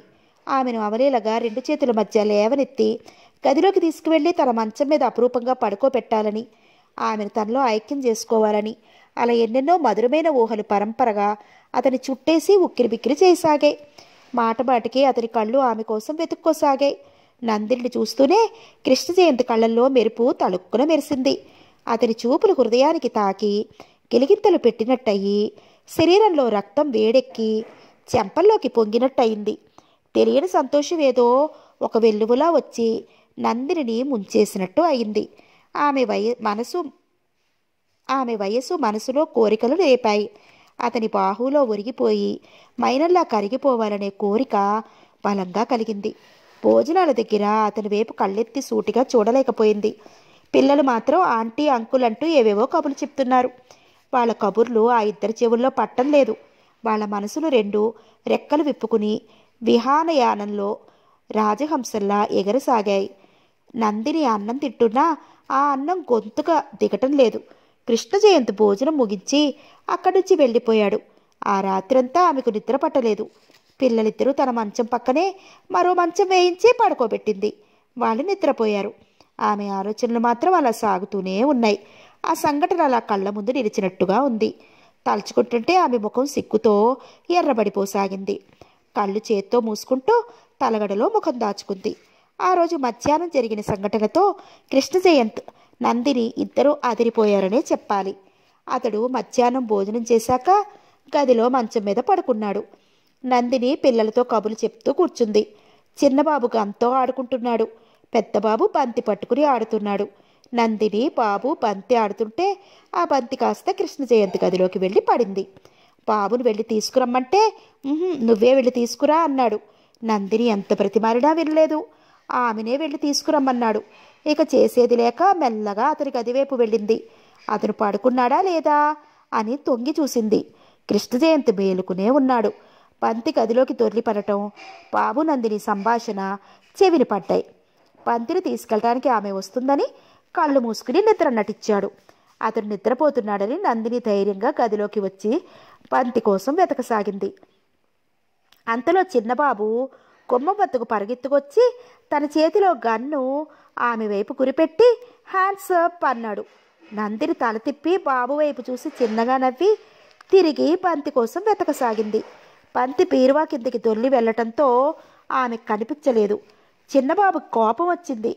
ఆంటీ తను చెప్పినట్టు చేతులు పైకెత్తలేదని మళ్ళీ అన్నాడు. ఆమె వినిపించుకోలేదు. నేను పోలీస్. నిన్ను ఖైదులో పెట్టెత్తాను జాగ్రత్త అంటూ గది తలుపును దగ్గరగా వేసి అవతల గడి పెట్టేసి గట్టిగా నవ్వసాగాడు. నందిని గుండె ఒక్కసారి కుబేలు మంది. బంతి మా మాట మరిచి గుమ్మం వైపు పరిగెత్తింది. అప్పటికే బాబు తలుపులు మూసేసి అవతల గడి వేసేశాడు. తలుపులు గట్టిగా కొట్టింది. బాబు తలుపు తీయే అంటూ నేను తీయను. నేను పోలీసుని అంటూ సమాధానం చెప్పాడు. నందినికి ఒక్కసారిగా ముచ్చూరి చెమటలు పట్టేశాయి. అతనికి మెలకు వచ్చిందా లేదా? అని తల తిప్పి చూసింది. కృష్ణ జయంతి నిద్ర నటించడం మర్చిపోయి మంచం మీద లేచి కూర్చున్నాడు. ఆమె కతుక్కుమన్నట్టు అయింది ఇద్దరు చూపులు క్షణం సేపు కలుసుకున్నాయి. అతని కళ్ళల్లో సంతోషం తడుక్కుమంటే ఆమె కళ్ళల్లో భయం కదిలింది. బాబు తలుపు అంటూ అతని వైపు చూసింది. అది తన తప్పు ఏమీ కాదన్నట్టు స్పష్టంగా. కృష్ణ జయంతి ఏమీ మాట్లాడలేదు. అతనికి నవ్వొచ్చేస్తోంది. నవ్వితే నందిని కోపం వస్తుందని భయం. క్రితం రోజు తను చేసిన పనికే ఆమెకు బాగా కోపం వచ్చి ఉంటుందని చూసాయిగా గ్రహించాడు. అయితే ఆమె పైకి ఆ కోపం ప్రకటించలేదు. ఎందుకని మనసులో అనుకు అనుకుంటుంటే ఈరోజు ఇలా జరిగింది. బాబు తలుపులు గడి పెట్టేశాడు. ఏమిటి అలా చూస్తారు? అంది కాస్త కోపంగా. అతను వస్తున్న నవ్వు ఆపుకున్నాడు. ముఖం శాంత గంభీరంగా మారిపోయింది. ముందు మీరు ఆ రథం దిగిరండి. రథమా? ఆశ్చర్యంగా చూశాడు. అదే ఆ మంచం అంది పళ్ళు బిగించి. అంతే అతని చటుకుని మంచం దిగిపోయి నిలబడి చేత్తో క్రాఫ్ పడు సర్దుకుంటూ ఆమె వైపు చూశాడు. క్రాఫ్ తర్వాత సర్దుకుందరు కానీ ముందు తలుపులు తీయించండి అంది వస్తున్న కోపాన్ని బిగపట్టుకుంటూ. ఆ అన్నట్టు తల ఊపి తలుపు దగ్గరికి వచ్చాడు. అతను అక్కడికి రావటంతో ఆమె కాస్త పక్కకు తప్పుకుంది. బాబూ తలుపు తీయమ్మా అంటూ పిలిచాడు. నేను తీయను. నేను పోలీస్ని ఆంటీని ఖైదీలో పెట్టేశాను ముత్తుబుత్తుగా జవాబిచ్చాడు. అతను ఆమె వైపు చూశాడు. నందినికి చిరాకేసింది. బాబు తలుపు తీయకపోతే తన వైపు చూడాలా? ఒక్క కసురు కసిరి కసరలేడి పెద్ద మనిషి. అంతా వేషం తమాషా. కోపంగా ఉరిమి చూసింది అతని వైపు. తలుపులు తీయించడం మీకు చేత కాదా అన్నట్లు. ఎలా? చిన్నపిల్లలు వాళ్ళకి ఏం అర్థమవుతుంది? అన్నట్టు చూశాడు. ఆ పాపం మీరు చిన్న పాపాయే అన్నట్టు చూసింది ఆమె. బాబూ తలుపు తీయమ్మా నేను తీయను. మన సర్కస్ చూడటానికి వెళ్ళొద్దు. ఎప్పులు? బాబు ఆశగా అడిగాడు. సాయంత్రం. మరి నన్ను తీసుకెళ్తావా? నమ్మకం కుదరక అడిగాడు.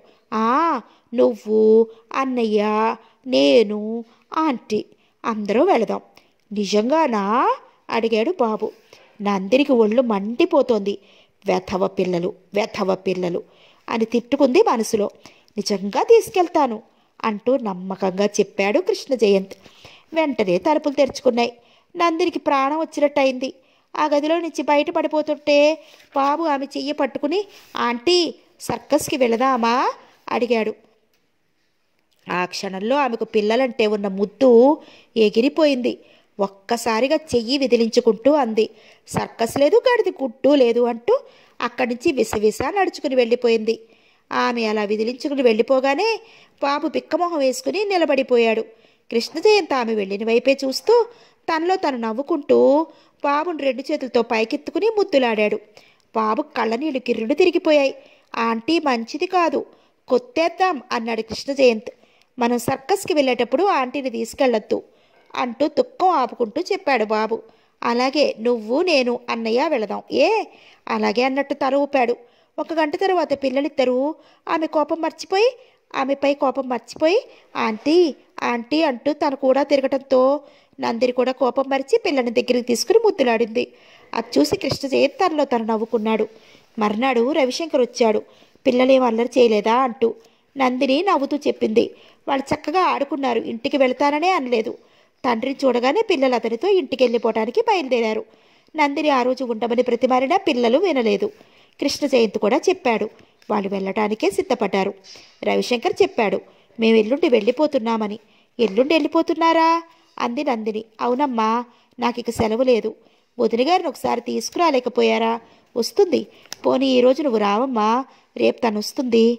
నందిని సమాధానంగా నవ్వి ఊరుకుంది. రావడానికి నాకెక్కడ తీరిక అవుతుంది? అన్నట్లు. కృష్ణ జయంతి సంభాషణ మరోవైపు మరల్చాడు. రవిశంకర్ ఇద్దరూ వేరే సంగతులు మాట్లాడుకుంటూ కూర్చున్నారు. అతను వెళ్ళిపోతుంటే భోజనం చేస్తే గాని వెళ్ళటానికి వీల్లేదు అంది నందిని. కృష్ణ జయంతి కూడా అలాగే అనటంతో అతనికి అక్కడ భోజనం చేయక తప్పలేదు. భోజనం చేశాక రవిశంకర్ పిల్లలిద్దరిని తీసుకుని వెళ్ళిపోయాడు. కృష్ణ జయంతి ఆ రోజు రవిశంకర్ ఇంటికి వెళితే అతను వాళ్ళ అన్నగారు కూడా ఇంటి దగ్గర లేరు. వకుల ఇంటి దగ్గరే ఉంది. కృష్ణ జయంతి వెంటనే వెళ్ళిపోతుంటే కూర్చోమని కాఫీ తెచ్చిచ్చింది. కొద్దిసేపు అక్కడే కూర్చున్నాడు ఆమెతో కబుర్లు చెప్తూ. మాటల మధ్య వకుల అతని పెళ్ళి గురించి అడిగింది. పెళ్ళెప్పుడు చేసుకుంటావన్నయ్యా అని ఆ మాట వినటంతో అతని ముఖంలో నవ్వు మాయమయ్యి శాంత గంభీరంగా మారింది. ఏమిటన్నయ్యా సమాధానం చెప్పవు? నా పెళ్ళి ఎప్పుడవుతుందో? అసలు ఏ అవుతుందో లేదో కూడా నాకు తెలియదు అంటూ నవ్వాడు. మనసులో మెలితిరుగుతున్న బాధని నవ్వుతో కప్పిపుచ్చాలని ప్రయత్నించటం వకుల గమనించకపోలేదు. ఒక్క క్షణం అతని వైపు అలా చూసి మెల్లగా అంది అన్నయ్య నువ్వు నందిని పెళ్ళి చేసుకుంటారని అనుకుంటున్నాను. నువ్వేమిటి అలా అంటున్నావు? ఆ అమ్మాయి ఇష్టపడద్దు అంటూ నవ్వాడు. నిన్ను ఇష్టపడకపోవటమా? నువ్వు చేసుకుంటాను అని అనటమే చాలు. కో అంటే కోటి మంది అమ్మాయిలు నీ కాళ్ళ దగ్గరికి వస్తారు. నువ్వు కోరి చేసుకుంటానంటే నందిని ఇష్టపడకపోవటమా? ఆశ్చర్యంగా అడిగింది. అంతే నేను అడిగితే అలాగే జరిగింది. అన్నయ్య నీ మాటలు నాకు పూర్తిగా అర్థం కావటం లేదు.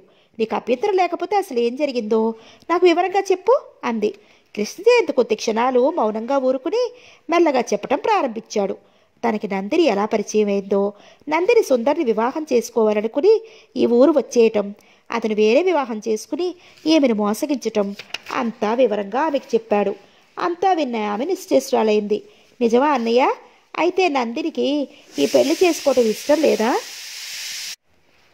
లేదన్నట్లు తల తిప్పాడు.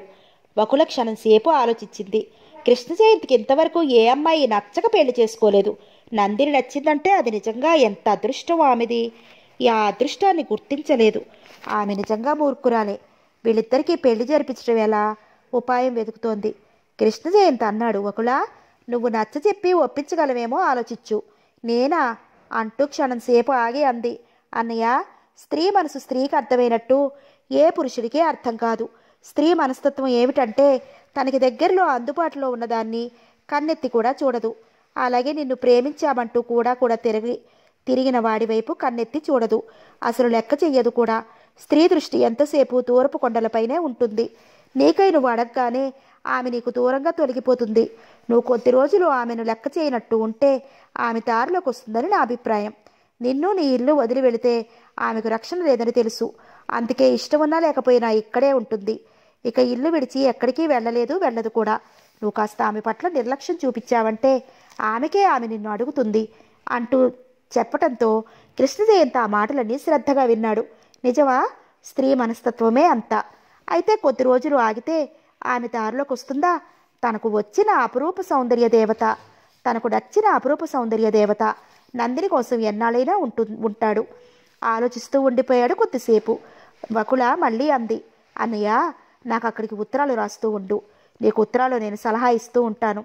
ఒక్క రెండు నెలలు ఓపిక పట్టు. నందిని నిన్ను తప్పక వివాహం చేసుకోవడానికి అంగీకరిస్తుంది. కృష్ణ జయంతి బరువుగా నెట్టూర్చాడు. అలా ఒప్పుకోవాలని తన ఆశ నమ్మకం. ఏది ఎలా జరుగుతుందో అంతా భగవంతుని ఇష్టం. రవిశంకర్ వకుల. అంతా కృష్ణ జయంతి ఇంటికి వచ్చారు. ఊరు వెళ్తున్నట్టు చెప్పటానికి. నందిని వాళ్ళందరికీ ఎంతో మర్యాద చేసింది. వకుల ఆమెకు మరీ మరీ చెప్పింది. ఉత్తరాలు రాస్తూ ఉండమని. నందిని అలాగే రాస్తానని మాటిచ్చే వరకు వదల్లేదు. కృష్ స్టేషన్కి కృష్ణ జయంతి బలవంతం మీద వెళ్ళింది. రవిశంకర్ వాళ్ళు తిన్నగా పాట్నా వెళ్ళటం లేదు. మధ్య కలకత్తాలో దిగి రెండు రోజుల తర్వాత అక్కడి నుంచి పాట్నా వెళ్ళిపోతారు. వకుల ట్రైన్ ఎక్కే ముందు మెల్లగా నందినితో అంది ఎవరైనా చేతిలో రత్నాన్ని ఎప్పుడూ జార విడుచుకోకూడదు. విడుచుకున్నాక దాని విలువ తెలుసుకుని విచారించక తప్పదు. ఈ విషయాన్ని అందరూ గ్రహిస్తే ఎంతో మంచిది. ఆ మాటలు వింటున్న నందినికి కాస్త కోపం వచ్చింది. బకుల అలా ఎందుకు అన్నట్టు? కృష్ణ జయంతి విలువ తను గ్రహించలేదంటుందా? మనసులో రోషావేశాలు పుస్సున పొంగాయి. కోపం పైకి ప్రకటించడానికి ఇది సమయం కాదని మౌనంగా ఊరుకుంది. ట్రైన్ కదిలి వెళ్ళిపోయింది. కృష్ణ జయంతి నందిని ట్రైన్లో వాళ్ళు కనిపించే వరకు చెయ్యి ఊపి వెనుతిరిగారు. కారులో ఇంటికి వస్తున్నారు.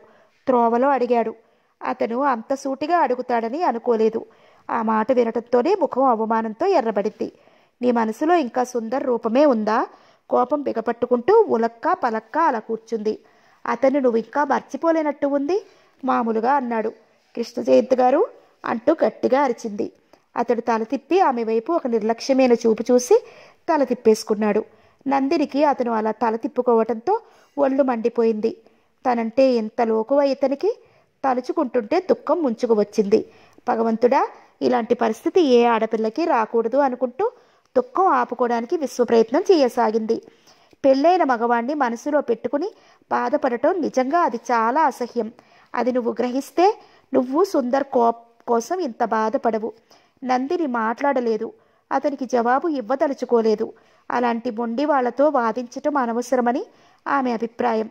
నందిని నువ్వు నీ మూర్ఖత్వాన్ని కాస్త వెనక్కి నెట్టి ఆలోచిస్తే నీ వారు ఎవరో నీకు గ్రహింపు అవుతుంది. మనిషికి ఎప్పుడూ ఆలోచన ముఖ్యం. నందిని తనని కానట్టు కూర్చుంది. కృష్ణ జయంతిక మాటలు పెంచలేదు. కారు పోర్టికోలో ఆగింది. నందిని కారు దిగి ముందు గబగబా లోపలికి వెళ్ళిపోయింది. కృష్ణ జయంతికి ఆ రోజు రాత్రంతా నిద్ర పట్టలేదు. కారణం తను అర్జెంటు పని మీద బెంగళూరు వెళ్ళాలి. ఒక వారం రోజుల వరకు రావటం అవదు. నందిని ఒక్కరితే ఉండాలి. వకుల వాళ్ళంతా పాట్నా వెళ్ళిపోయారు. వాళ్ళు ఊర్లో ఉన్న పిల్లల్ని ఇక్కడ ఉండమన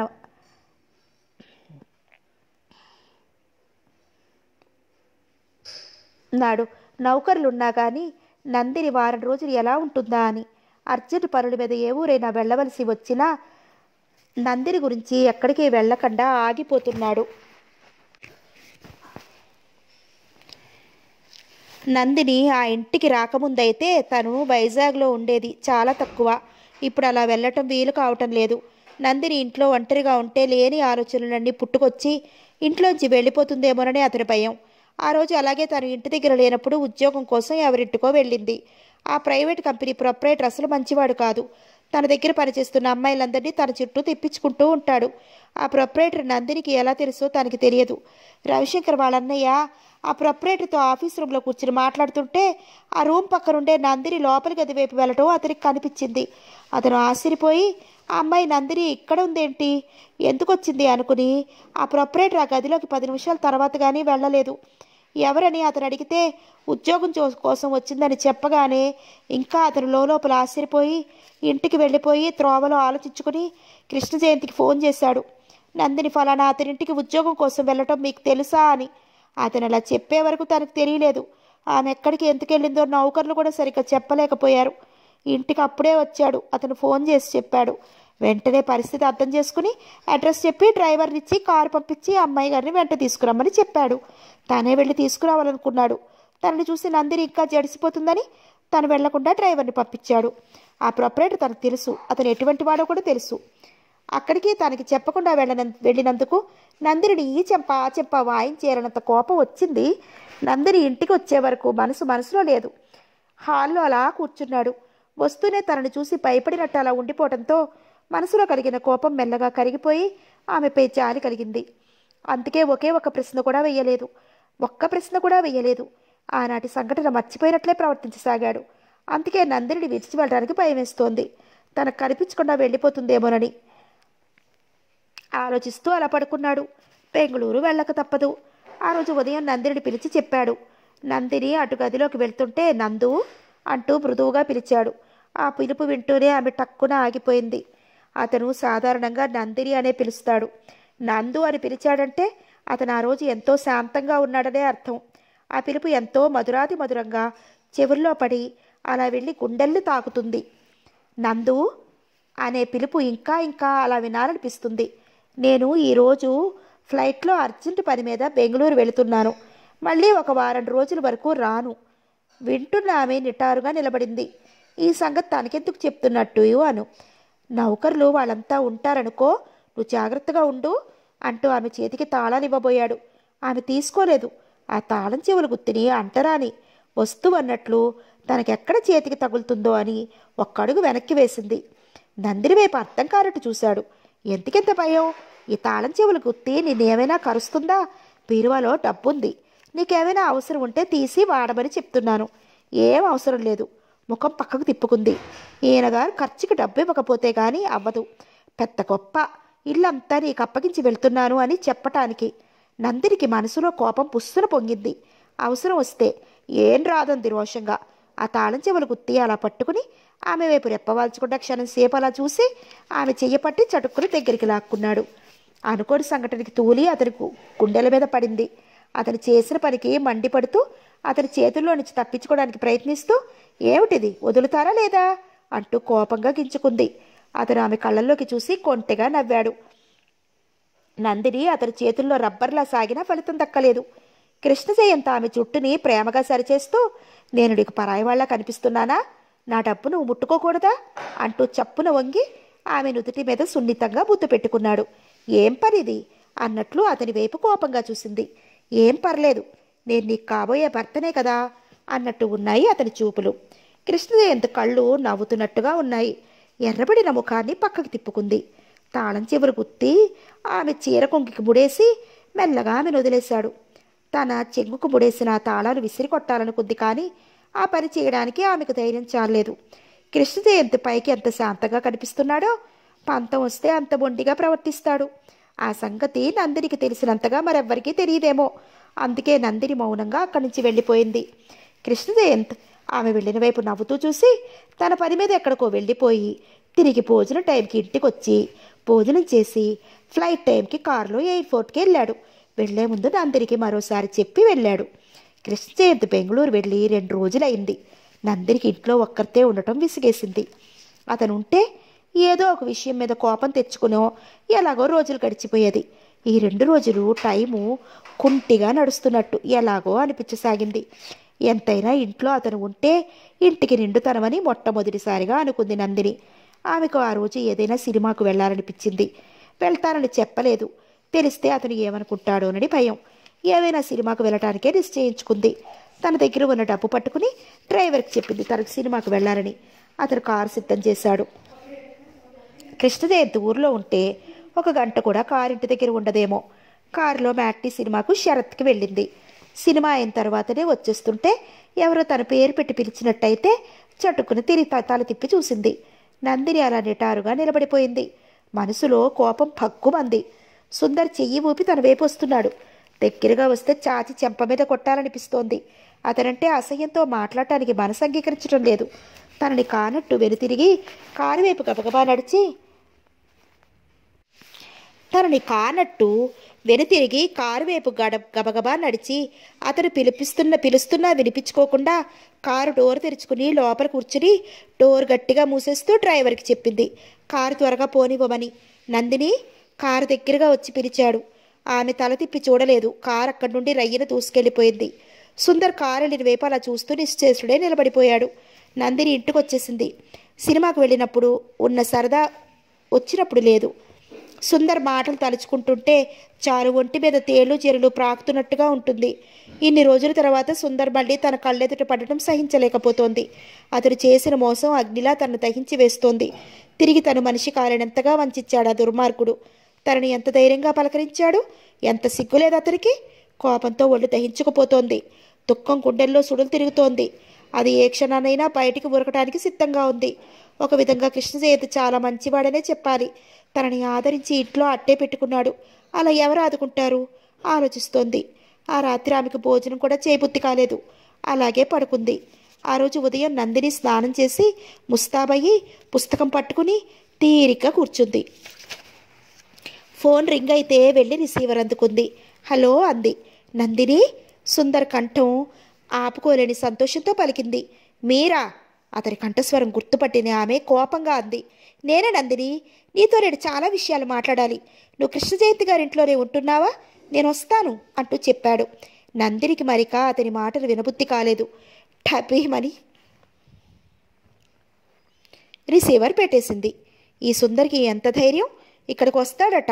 కృష్ణ జయంతి ఉంటే అతను ఏమనుకుంటాడు? అతన్ని మరిచిపోవాలని తను ప్రయత్నిస్తుంటే అతను తనతో మాట్లాడాలని తాపత్రయపడటం ఆమెకు అసహ్యం వేస్తోంది. ఇంకా అతనితో తనకి మాటల మనసులోనే అసహించుకుంది. కోపాన్ని ఆపుకుంటూ అక్కడే అలా నిలబడింది. ఫోన్ మళ్ళీ రింగ్ అయింది. తుళ్ళిపడినట్టయి వెంటనే సర్దుకుని రిసీవర్ అందుకుని హలో అంది. నందిని అతని కంఠస్వరం ఈసారి జాలిగా వినిపించింది. అతని గొంతుకు వింటూనే ఆమె కరిగిపోలేదు. మౌనంగా రిసీవర్ పెట్టేసింది. మళ్ళీ ఫోన్ రింగ్ అయింది. మళ్ళీ అతనే చేసుకుంటాడని రిసీవర్ తీసి పక్కన పెట్టేసి మేడ మీదకి వెళ్ళిపోయింది. గంటన్న తర్వాత సుందర్ మేడమెట్ల దగ్గర క్రింద ప్రత్యక్షమయ్యాడు. మేడ మీద వరండాలో కుర్చీలో కూర్చున్న నందిని అటు చూస్తూనే నిటారుగా నిలబడిపోయింది. సుందర్ కళ్ళెత్తి మేడపై ఉన్న ఆమె వైపు అలా రెప్పవాల్చకుండా అలా చూస్తూ ఒక్కో మెట్టు మెల్లగా ఎక్కుతూ పైకెళ్ళాడు. కృష్ణ జయంతి ఊర్లో లేడు. బెంగళూరుకి వెళ్ళాడని తెలిసాక సుందర్కి ధైర్యం వచ్చి తిన్నగా ఇంటికి వచ్చాడు. నౌకర్లకి అతను తెలిసేమో నందిని గారు ఉన్నారని ప్రశ్నిస్తే మేడ మీద ఉన్నారని చెప్పారు వాళ్ళు. లోపలికి వెళ్ళొచ్చారని అడిగి లోపలికి తిన్నగా వచ్చేశాడు. అతన్ని చూస్తూనే కోపంగా ఎందుకు వచ్చారు ఇక్కడికి? అంటూ కటువుగా ప్రశ్నించింది. నిన్ను చూడాలని మృదువుగా చిరునవ్వుతో చెప్పాడు. నన్ను చూడాలనా? ఆమె గొంతులో హేళన ధ్వనించింది. నీకు నా మీద ఆ మాత్రం ప్రేమ కూడానా? అన్నట్టు ఉంది ఆ హేళన. నందిని ఆమె హృదయంలో బాధ అంతా కంఠస్వరంలో నుండి వెలువడింది.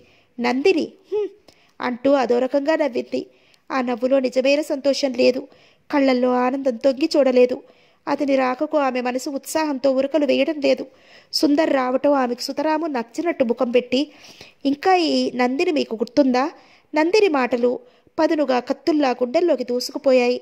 అతని బాధనంతటిని బలవంతంగా మింగుకున్నట్లుగా ముఖం పెట్టి జాలిగా అన్నాడు. నందిని నేను ఏ పరిస్థితిలో ఆ పెళ్ళి చేసుకున్నానో నీకు తెలిస్తే ఇంతగా నన్ను అసహించుకోవు. ఈ విషయాలు అన్నీ నాకు అనవసరం. మీరు వచ్చేరని కృష్ణ జయంతి గారికి తెలిస్తే బాగుండదు మీరు ఆయన ఇంటి దగ్గర ఉండగా వస్తే అది మీకు నాకు కూడా గౌరవం. అంది కోపంగా. నిజమే నేను ఒప్పుకుంటున్నాను. కానీ మన ఇద్దరికీ అతని వలన పరిచయం కాలేదు కదా. సూటిగా వచ్చింది ఆ ప్రశ్న. ఆ ప్రశ్నలో ఎన్నో అర్థాలు కొట్టవచ్చినట్లు కనిపించాయి. నీపై అతని కంటే నాకే ఎక్కువ అధికారం ఉంది సుమా అన్నట్టుంది. నందిని అతని వైపు చుట్టుక్కుని చూసింది. మీరు దయచేసి వెంటనే ఇక్కడి నుంచి వెళ్ళిపోండి. ఖచ్చితంగా చెప్పేసింది. అతను ఆమె మాటలు వింటూనే నవ్వాడు. నేను ఇక్కడికి వచ్చింది నీ మాటలు విని వెళ్ళిపోవడానికి కాదు అన్నట్టు ఉంది ఆ నవ్వు. చొరవగా అక్కడ ఉన్న కుర్చీలో కూర్చున్నాడు. నందిని జరిగిన విషయం అంతా నీతో చెప్తాను. అంతా విని నన్ను మోసగాడిగా తలుస్తావో ఏమనుకుంటావో నీ ఇష్టం అంటూ ఆగాడు. ఆమెను కూర్చోమని చెప్పినా కూర్చోలేదు. నందిని అతని వైపు చిరాగ్గా చూసింది. అతను ఆమె చూపును లెక్క చేసుకోలేదు. అతను ఆ రోజు నందినిని పెళ్ళి చేసుకుంటానని ఆమెను ఇంటికి తీసుకువచ్చాక ఎక్కడికో వెళ్ళటం. అక్కడి నుంచి ఈ రోజు వరకు జరిగిన విషయాలు అన్నీ ఆమెకు ఒక్క మాట వదలకుండా వివరంగా చెప్పాడు. నువ్వు చెప్పు నందిని ఇందులో నా తప్పు ఉంది అంటావా? నువ్వు బాగా ఆలోచించుకో. నువ్వు నన్ను నమ్మితే చాలు. ఇక ఎవరు నమ్మినా నమ్మలేకపోయినా నాకు అనవసరం. ఆమె మాట్లాడలేదు. నేను మళ్ళా రేపు వస్తాను అంటూ లేచి నిలబడ్డాడు. రావద్దు అని గట్టిగా చెప్పాలనుకుంది కానీ చెప్పలేకపోయింది. అతని మాటలు అన్నీ విన్నాక కటువుగా మాట్లాడలేకపోయింది. క్రింది పెదవి పై పై పంటిని కొరుకుతూ అలాగే ఉండిపోయింది. సుందర ఆమెకి చెప్పి వెనుతిరిగి కూడా చూడకుండా వెళ్ళిపోయాడు. నందినికి అతను చెప్పిన మాటలే చెవుల్లో మార్పు రొగుతున్నాయి. సుందర ఆ రోజు తన పెళ్ళి పనుల గురించి ఊపిరి తీసుకోవడానికి వీలు లేనంత తీరిక లేకుండా తిరుగుతున్నాడు. నందినికి తలుపులు వేసుకుని జాగ్రత్తగా ఉండమని చెప్పి అతడు వెళ్ళిపోయాడు. అతని మనసంతా సంతోషంతో పొంగిపోతోంది. నందిని తనని వివాహం చేసుకోవడానికి అంత తేలిగ్గా ఒప్పుకుంటుందని అతను అనుకోలేదు. ఆమె ఒప్పుకుంది అంటే తన అదృష్టమే అని చెప్పాలి. లేక అంత అందాల రాసి తనకి భార్య కావటానికి అంగీకరించటమా? మర్నాడు ఉదయం పెళ్ళికి అతని ఫ్రెండ్స్ అందరూ కలిసి ఏర్పాట్లు చూస్తున్నారు. అంతలో వాళ్ళ ఊరు నుండి బంధువుల అబ్బాయి వచ్చాడు. సుందర్ నువ్వు ఇక్కడ ఉన్నావా అంటూ కంగారుగా అడిగాడు. అతను సుందర్కి వరుసకి మేనమామ కొడుకవుతాడు. అతని కంగారు చూసి సుందర్ నిజంగా కంగారు పడ్డాడు. ఏ ఏమిటి ఇలా వచ్చావు? ఇంటి దగ్గర అమ్మ నాన్న అంతా కులాసయ్యేనా? అడిగాడు. నువ్వు వెంటనే నాతో బయలుదేరు అంటున్న అతని ముఖం నల్లగా మాడిపోయినట్లు ఏదో విషయాన్ని కప్పిపుచ్చుకోవడానికి ప్రయత్నిస్తున్నట్టు ఉంది. సుందరికి విషయం ఏమిటో సరిగ్గా తెలియకపోయినా ఇంటి దగ్గర జరగకూడనిది ఏదో జరిగింది అని ఆ సంగతి తనకి తెలియనివ్వకుండా జాగ్రత్త పడుతున్నాడని గ్రహించి అతన్ని గట్టిగా నిలదీసి అడిగాడు. ఏమిటి? అసలు విషయం సరిగ్గా చెప్పకపోతే నాకెలా తెలుస్తుంది? అమ్మా నాన్న అందరూ బాగున్నారా అంటూ అడిగేసరికి అతడు మెల్లగా చెప్పాడు. మీ నాన్నకు చాలా సీరియస్గా ఉంది. ఈవేళ రేపో అన్నట్టు ఉంది. అందరూ నీకోసం చూస్తున్నారు. నువ్వు వెంటనే నాతో బయలుదేరిరా. నువ్వు రావటం ఏమాత్రం ఆలస్యం చేసినా మీ నాన్న కడసారి చూపు నీకు దక్కదు. ఆ! అంటూ అలా ఉండిపోయాడు. మొన్నటి వరకు తండ్రి బాగానే ఉన్నాడు. ఇంతట్లోకి ఏమైంది? సుందర్? ఆ! నాకేమిటో అంతా అయోమయంగా ఉంది. నాకు కాలు చేతులు ఆడటం లేదు అంటూ గాబరా పడ్డాడు. ఇక ఆలోచించడానికి టైం లేదు. వెంటనే బయలుదేరు అన్నాడు. సుందర్కి ఎటు చెప్పాలో ఏమీ పాలు పోలేదు. నందిని ఇంటి దగ్గర ఒక్కర్తే తన కోసం ఎదురు చూస్తుంటుందని తెలుసు. తెల్లవారి పెళ్ళికి ముహూర్తం పెట్టించడం అయిపోయింది. ఆ పెళ్ళి కాకుండా తప్పిపోవడం తనకి ఇష్టం లేదు. అలా అని తండ్రిని చూడకుండా ఉండలేడు. నందిని ఏమనుకుంటుందో అని ఆలోచన అటు తండ్రికి ఎలా ఉంటుందో అన్న బాధ ఏం చేయాలో తోచలేదు. సుందర్ ఏమిటి ఆలోచిస్తున్నావు? వెంటనే బయలుదేరు. మనకి టైం లేదు. ఈ ఊరు నుండి సామాన్లతో ఒక లారీ బయలుదేరుతుంది. దానిలో వెళ్ళిపోదాం. నేను మాట్లాడి వచ్చాను అంటూ తొందర చేశాడు అతను. అయితే నేను ఇప్పుడే వస్తాను ఉండు. ఇంటి దగ్గర నా కోసం ఫ్రెండ్స్ ఎదురు చూస్తూ ఉంటారు అన్నాడు సుందర్. అతనికి అవకాశం ఇవ్వటం ఇవ్వడం లేదు. ఇవ్వలేదు టైం లేదు అంటూ అతను కూడా వెంట పెట్టుకుని తీసుకెళ్ళిపోయాడు. సుందర్కి వెళుతున్న మనసంతా నందిని వైనే ఉంది. వెళ్ళటం మానేయాలంటే మరొకటి మరొకటి కాదు. కన్న తండ్రి చావు బ్రతుకుల్లో తన కోసం ఎదురు చూస్తున్నాడు. అటు వెళ్ళక తప్పదు. పాలకొల్లు వెళ్ళి ఇంట్లో అడుగు పెట్టేసరికి సుందరికి నోటమాట రాలేదు. నిలువుగట్లు పడిపోయాయి. కాళ్ళు కదలలేదు. పాదాలు నేల కట్టుకుపోయాయి వీధి చావిట్లో పాత కుర్చీలో కూర్చుని సుందర్ తండ్రి తాపీగా చుట్ట కాలుస్తూ కనిపించాడు. కొడుకును చూస్తూనే ఆయన ఫిళ్ళును నవ్వాడు. తండ్రి నవ్వు చూసి సుందర్కి నవ్వు ఆగ నవ్వు రాలేదు. నిశ్చేష్టుడే అలాగే నిలబడిపోయాడు. ఏమిట్రా అలా చూస్తుండిపోయావు వీడింకా బ్రతికే ఉన్నాడు? వీడిని చంపటం ఎలాగా అని ఆలోచిస్తున్నావా? అంటూ మళ్ళీ నవ్వారు ఆయన.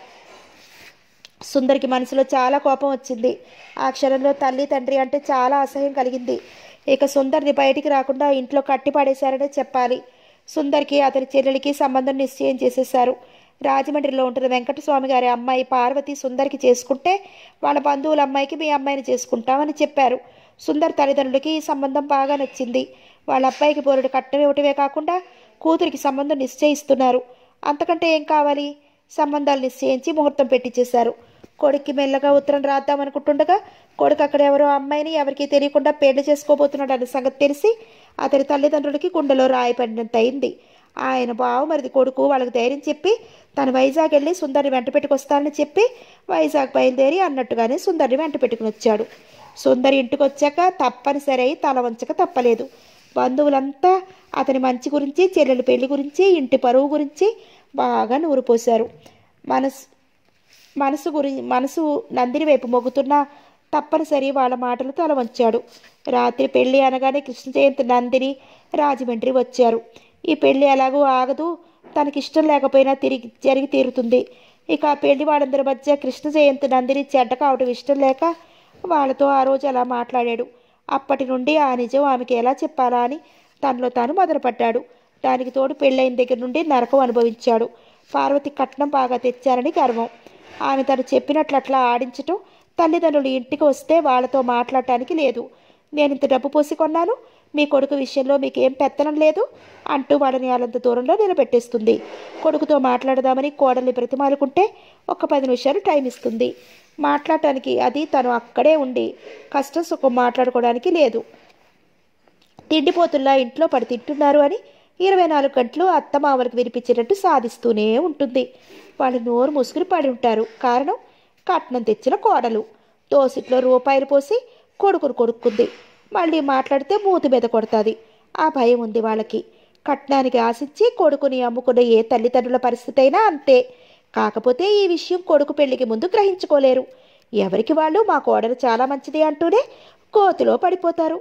తరువాత విచారిస్తారు. ఎక్కడో అదృష్టవంతులకు కానీ కోడలు పూజలు అందుకునే అదృష్టం దక్కదు. అదే జరిగింది సుందర్ తల్లిదండ్రులకి. వాళ్ళు కోడలికి గడగడా వణుకుతూ మూల కూర్చుంటారు. ఇక సుందర్ పని అలాగే ఉంది. కాకపోతే భర్త అనే మర్యాద వస్- ఇస్తుంది. అతనికి ఆ భార్య వలన సుఖశాంతి లేదు. ఆమె ఒట్టి అనుమానం మనిషి. తను అందంగా లేదని అతనికి వేరే స్నేహాలు ఉన్నాయేమో అని సాధిస్తూనే ఉంటుంది ప్రతిరోజు. మీరు ప్రేమించి పెళ్ళాడతారన్న ఆ అమ్మాయి మీకు కనిపిస్తుందా అని ప్రతిరోజు అడిగి ప్రాణాలు తోడేస్తుంది. ఈ విషయాలు అయితే మగవాడు విని విసిగెత్తి ఏ విషయాలైతే మగవాడు విని విసిగెత్తుతాడో ఆ విషయాలు చెవిన పడుతుంటే సుందరికి జీవితం అన్నా భార్య అన్నా విసిగిపోయి అసహ్యం కలుగుతుంది. రోజులు గడిచే కొద్దీ పార్వతిని ఎలా వదిలించుకోవాలా అని ఆలోచిస్తున్నాడు. అతని మనసు రాత్రి పగలు నందిని కోసం కలవరిస్తూనే ఉంది. నందిని ఎక్కడికి వెళ్ళిందో ఎవరింటి దగ్గర ఉందో అతనికి తెలియలేదు. విజయనగరం వెళ్ళి కనుక్కువచ్చాడు. ఆమె ఆ ఊర్లో లేదని తెలిసింది. నందిని ఎక్కడ ఉన్నట్టు? ఆ విషయం కృష్ణ జయంతిని అడగటానికి ధైర్యం చాలలేదు. నందిని లేకుండా ఒక్క క్షణం ఉండలేని స్థితిలోకి వచ్చాడు. నందిని కోసం వెతుకుతూ రోజు రోజుకి పిచ్చివాడైపోతున్నాడు. సినిమా హాల్ దగ్గర కారు వైపు వెళుతున్న ఆమెను చూస్తూనే మనసంతా సంతోషంతో నిండిపోయింది. ఆపుకోలేని సంతోషంతో నందిని అంటూ పిలిచాడు. ఆమె తను ఎవరో గుర్తించినట్టు ముఖం తిప్పుకుని వెళ్ళిపోవటం అతనికి మరింత బాధ అనిపించింది కారును బట్టి ఆమె కృష్ణ జయంతి ఇంట్లోనే ఉంటుందని గ్రహించి నందినితో అన్ని విషయాలు చెప్పాలని నిశ్చయించుకున్నాడు. ఒకసారి తెలివి తక్కువగా ఆమెను వదులుకున్నా ఈ ఈసారి మాత్రం వదులుకోకూడదని నిశ్చయించుకున్నాడు. నందినితో ఈ విషయం ఈ విషయాలన్నీ చెప్పి రేపొస్తానని చెప్పి వెళ్ళిపోయాడు. ఆమె అలా అతని గురించి ఆలోచిస్తూ పరధ్యానంగా గడిపేసింది ఆ రోజంతా. ఆ రోజు సుందర్ మళ్ళీ నవ్వాడు. మళ్ళీ వచ్చాడు. మునుపటిలా అతన్ని అసహించుకోలేకపోయింది. ఆలోచించగా అతనికి తప్ అతనికి తప్పు లేదు. అతని తప్పు లేదు. పెద్దవాళ్ళు ఆడిన నాటకంలో ఇరుక్కుపోయాడు అనిపిస్తుంది. తమ ఇద్దరి పెళ్ళి జరగాలని లేదు జరగలేదు అంతే. ఇక ఎవరిని ఏమనుకుని ఏం లాభం? సుందర్ని చూస్తూనే కూర్చోండి అంటూ మెల్లగా చెప్పింది. హాల్లో సోఫాలో కూర్చున్నాడు. క్రితం రోజుకి ఈ రోజుకి ఆమెలో మార్పు కనిపించింది. నందిని ఈరోజు కోపంగా లేదు. మాట కూడా చాలా నెమ్మదిగా మర్యాదగా మాట్లాడుతోంది. నువ్వు కూడా కూర్చో అని అతను అనటంతో నందిని ఎదురుగా సోఫాలో కూర్చుంది. నందిని నువ్వు నన్ను క్షమించాలని ఒక్క మాట చెప్తే చాలు. అంతవరకు నాకు మనశ్శాంతి ఉండదు. సుందరి ఇంటికి వచ్చాక తప్పనిసరి తల వంచక తప్పలేదు. బంధువులంతా అతని గురించి చెల్లెల పెళ్ళి గురించి ఇంటి పరువు గురించి బాగా నూరిపోశారు మనసు నందిని వైపు మొగ్గుతున్న తప్పనిసరి వాళ్ళ మాటలకి తల వంచాడు. రాత్రి పెళ్ళి అనగా జయ జయ కృష్ణ జయంతి నందిని రాజమండ్రి వచ్చారు. ఈ పెళ్ళి ఎలాగా ఆగదు? తనకిష్టం లేకపోయినా జరిగి తీరుతుంది. ఇక ఆ పెళ్ళి వాళ్ళందరి మధ్య కృష్ణ జయంతి నందిని చెడ్డ కావటం ఇష్టం లేక వాళ్ళతో ఆ రోజు అలా మాట్లాడాడు. అప్పటి నుండి ఆ నిజం ఆమెకి ఎలా చెప్పాలా అని తనలో తను మొదలుపడ్డాడు. దానికి తోడు పెళ్ళైన దగ్గర నుండి నరకం అనుభవించాడు. నందిని క్షమించారని ఒక మాట చెప్పు. అతని కంఠస్వరం జాలిగా పలికింది. ఇప్పుడు ఆ మాటలన్నీ దేనికి? జరిగిపోయిన దాని గురించి మనసులో పెట్టుకుని బాధపడటం అనవసరం అంది అతి మెల్లగా. నందిని నువ్వు నాకు కావాలి. నువ్వు లేకుండా నేను ఉండలేను. నందిని నిటారుగా అయింది. మాట పరుపు లేకుండా అలా బొమ్మలా కూర్చుంది. నందిని నువ్వు ఇక్కడ ఉండొద్దు. నాతో వచ్చేయి నిన్ను పువ్వుల్లో పెట్టి చూసుకుంటారు. ఆమె మాట్లాడలేదు. నందిని ప్లీజ్ మాట్లాడు అంటూ ప్రతిమల సాగాడు. ఎలా? ఎలా సుందర్ మనం కలిసి ఉండేది? మనసులో ధైర్యం అంతా కూడ తీసుకుంటూ ప్రశ్నించింది. మనసుంటే మార్గం ఉంటుంది. ఎంతమందికి లేరు ఇద్దరు భార్యలు? మనం ఎవరికీ తెలియకుండా గుళ్ళో పెళ్ళి చేసుకుందాం. నేను వేరే ఇల్లు తీసి అందులో ఉంచుతాను. మనం హాయిగా ఆనందంగా ఉండొచ్చు. నందిని ఒక్కొక్కసారి గుండె గుబేలు మంది. పెళ్ళి మీద పెళ్ళా? చట్టం ఒప్పుకుంటుందా? సుందర భార్యకి ఈ విషయం తెలిస్తే గొడవైపోదు? ఆలోచిస్తోంది. నందిని నువ్వు లేకుండా నేను బ్రతకలేను. నువ్వు నా ప్రాణం. నా ఇంటి ఇల్లాలివి నువ్వే నా పిల్లలకు తల్లివి నువ్వే కావాలి. ఆమె ఆ మాటలు వింటూ ప్రాణం లేని బొమ్మలా నిలబడిపోయి అతను ఆవేశంతో బాధగా అంటుంటే తన గుండెల్ని చీల్చేస్తున్నట్టుగా అనిపిస్తోంది. నందిని నువ్వు అంటే రేపే వివాహం చేసుకుందాం. ఆమె సమాధానం కోసం ఆతృతగా చూడసాగాడు. రేపా? అయోమయంగా ప్రశ్నించింది. అవును రేపే మనం వివాహం చేసుకుందాం. ఆమె మాట్లాడలేదు. నందిని ప్లీజ్ మాట్లాడు. ఈ పెళ్ళి ఈ పెళ్ళి ఎలా జరుగుతుంది? మీ భార్య ఒప్పుకుంటుందా? ఆ సంగతంతా నాకు వదిలే మనం ఎవరికీ చెప్పాల్సిన పని లేదు. నా భార్యకి తెలిస్తే అంటావా? ఇష్టమైతే ఉంటుంది లేకపోతే వాళ్ళ పుట్టింటికి పోతుంది. ఇక ఆ సంగతుల గురించి నువ్వు ఆలోచించకు. నువ్వు అను. నాకు కొంచెం ఆలోచించుకోవడానికి టైం అవు ఇవ్వండి. ఇప్పుడిప్పుడే నేను చెప్పలేను అంది మెల్లగా. ఆ మాటలు వింటూనే అతనిలో ఉత్సాహం చప్పున చల్లారిపోయింది.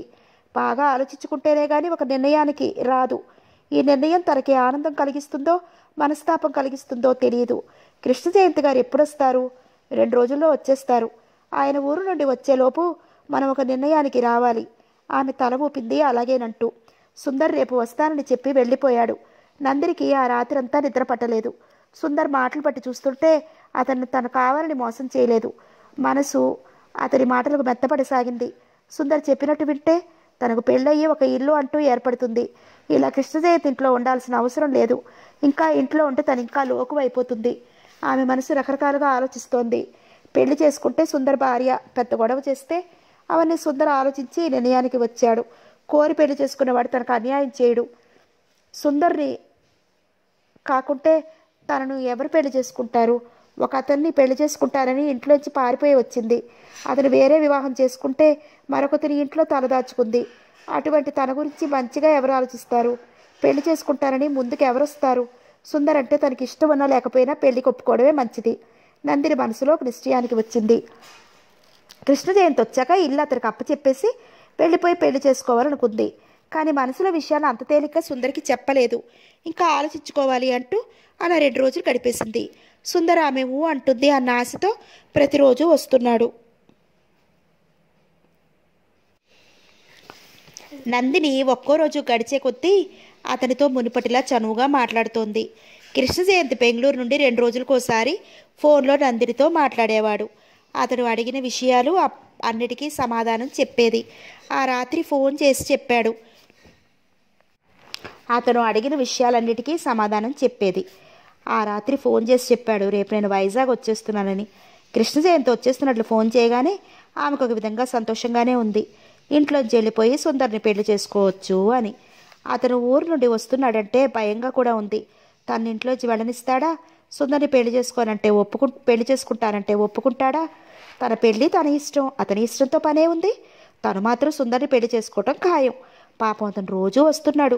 తాను ఏం సమాధానం చెప్తుందోనని ఎదురు చూస్తున్నాడు. అతన్ని ఇంకా ఆడించడానికి మనసు అంగీకరించలేదు. అందుకే కృష్ణ జయంతి రాగానే సుందరితో వెళ్ళిపోవడానికి నిశ్చయించుకుంది. అతను బెంగళూరు నుండి వస్తున్నట్టు సుందరికి చెప్పి వచ్చే ముందు ఫోన్ చేసి అతని ఇంటి వద్ద లేని టైంలో రమ్మని చెప్పింది.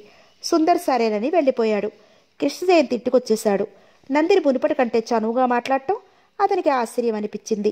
తను ఈ మధ్య ఊళ్ళో లేని మూలంగా ఆమెలో మార్పు వచ్చిందా అని ఆలోచించాడు. తనంటే ఇష్టపడుతుందా? తమ పెళ్ళికి అంగీకరిస్తుందా? అని మనసులో ప్రశ్నించుకోసాగాడు. ఆ రోజు రాత్రి ఇద్దరూ ఒకేసారి భోజనాలు చేశారు. అతను ఉత్సాహంగా కబురు చెప్తుంటే ఆమె నవ్వుతూ కుతూహలంగా వింటోంది. మర్నాడు ఉదయం కృష్ణ జయంత్ పని ఉండి ఎనిమిది గంటలకే వెళ్ళిపోయాడు. సుందర్ వద్ద నుండి ఫోన్ వచ్చింది. నందిని ఉత్సాహంగా అతనితో మాట్లాడింది. కృష్ణ జయంత్ ఇంటి వద్ద లేనప్పుడు సుందర్ వచ్చి వెళుతున్నాడు. ఆమె అతనికి తన నిర్ణయం తెలియజేసింది.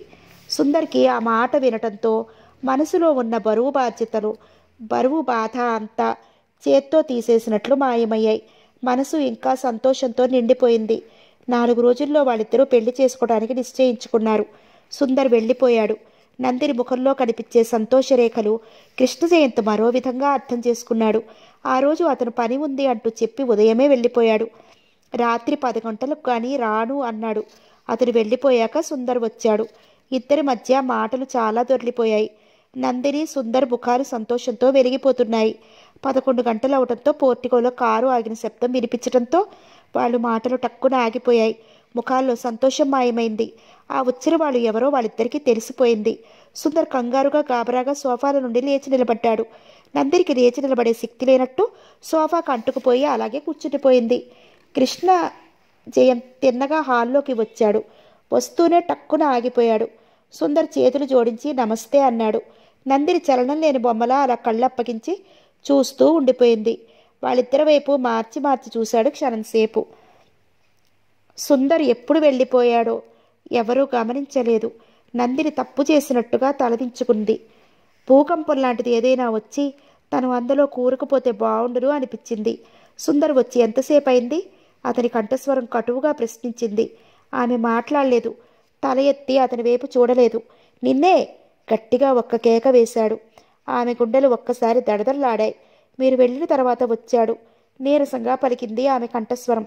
ఎందుకు వచ్చాడు? వాడితో నీకు మాటలేమిటి? తీవ్రంగా అడిగాడు. అతని కోపానికి తనపై అధికారం ఉన్నట్లు మాట్లాడటంతో ఆమెలో నిర్లక్ష్యం తలెత్తింది. కళ్ళెత్తి అతని వైపు చూసింది. అది నా సొంత విషయం. మీకు చెప్పవలసిన అవసరం లేదు అన్నట్టు ఉన్నాయి ఆ చూపులు. నేను ఇప్పుడే చెప్తున్నాను. ఆ సుందర్ మళ్ళీ ఇంట్లో అడుగు పెట్టాడో? వాడి రక్తం కళ్ళ చూస్తాను. ఈ సంగతి నువ్వు గుర్తుంచుకో అన్నాడు. అతని కళ్ళల్లో నిప్పులు కురుస్తున్నాయి. అతని చంపే అధికారం మీకెవరిచ్చారు? నేను ఈ ఇంట్లో ఉన్నాను కాబట్టి అతను వస్తున్నాడు. లేకపోతే అతనెందుకు వస్తాడు అంటే అతను నువ్వు ఇంకా మర్చిపోలేదా? మనసులో ఆరాధిస్తున్నావన్నమాట. అతని కంఠంలో కోపంతో పాటు రవ్వంత హేళన కూడా మిళితమై ఉంది. నందిని ముఖం అవమానంతో ఎర్రబడింది. మీరు ఏం హేళన చేయనవసరం లేదు అంది కోపంగా. అయితే జరిగిన విషయాలన్నీ మరిచి అతనితో ఎందుకు మాట్లాడుతున్నావు? రాజమండ్రిలో అతను నిన్ను ఎంత అవమానించాడో అప్పుడే మర్చిపోయావన్నమాట. మర్చిపోలేదు. అతని పరిస్థితులని అర్థం చేసుకున్నాను. అందుకే అతని పరిచయాన్ని మళ్ళీ పెంచుకున్నాను. నేను మీ ఇంట్లో ఉన్నన్ని రోజులు అతను ఇక్కడికి వస్తాను అంటూ ఖచ్చితంగా చెప్పి అక్కడి నుంచి లేచి గిర్రుడు తిరిగి వెళ్ళిపోయింది. కృష్ణ జయంత ఆమె వెళ్ళిన వైపు చూస్తూ అలా నిశ్చేష్టుడై నిలబడిపోయాడు. కొద్దిసేపటికి అతనిలో చలనం వచ్చినట్టయింది. మనసులో ఆలోచనలు సుడిగుండాల. మాదిరి పరిభ్రమిస్తున్నాయి. అక్కడ సోఫాలో అలా కూర్చుండిపోయాడు ఈ సుందర్ ఇక్కడికి ఎలా వచ్చాడు? జరిగిన విషయాలన్నీ నందిని అంత తేలిగ్గా ఎలా తీసి మర్చిపోయింది? ఆలోచిస్తున్న అతని మనసు ఉపాయం ఏదో చిక్కుకున్నట్టు అయింది తలపంకిచ్చి ఒక నిశ్చయానికి వచ్చినట్టు ఆ మర్నాడు సుందరి ఇంటికి వస్తాడేమోనని అతని కోసం చూశాడు. రాలేదు. ఆ మర్నాడు కూడా రాలేదు. నందిని కృష్ణదేయంతో మాట్లాడటం మానేసింది. అతని ఎదుట ఉండకుండా తప్పుకు తప్పుకు తిరగసాగింది. ఆమెకు మనసులో దుఃఖం ముంచుకొస్తోంది. అతనితో ఎప్పుడు ఎంత మంచిగా మాట్లాడదామన్నా ఏదో ఒక విషయం గురించి దెబ్బలాడాల్సి వస్తోంది. మంచిగా ఇంట్లో నుంచి బయటపడదామని ఆమె ఉద్దేశం. రెండు రోజులు సుందర్ జాడ ఎక్కడా లేదు. కృష్ణ జయంత్ ఆ రోజు ఎక్కడికో వెళ్ళాడు. ఫోన్ రింగ్ అయితే నందిని వెళ్ళి రిసీవర్ అందుకుంది. అతను ఫోన్లో చెప్పిన విషయాలు అన్నీ శ్రద్ధగా విని సంతోషంతో అలాగే అంటూ చెప్పింది. ఆ రాత్రి పన్నెండు గంటలకి ఇల్లు విడిచి వెళ్ళి వచ్చాయి. నేను స్కూటర్తో ఆ వీధిలో సిద్ధంగా ఉంటాను. ఇద్దరం వెళ్ళిపోదామని చెప్పాడు. నందిని ఆ రోజంతా ఉత్సాహంగా ఉంది. కృష్ణ జయంతి పేరున చిన్న ఉత్తరం రాసి తన మంచం మీద పెట్టి పైన పేపర్ వెయిట్ పెట్టింది. కృష్ణ జయంతి ఆ రాత్రి పడుకున్నాక టైం లెక్క చెప్ లెక్క పెడుతోంది. టైం సరిగ్గా పన్నెండు అయింది.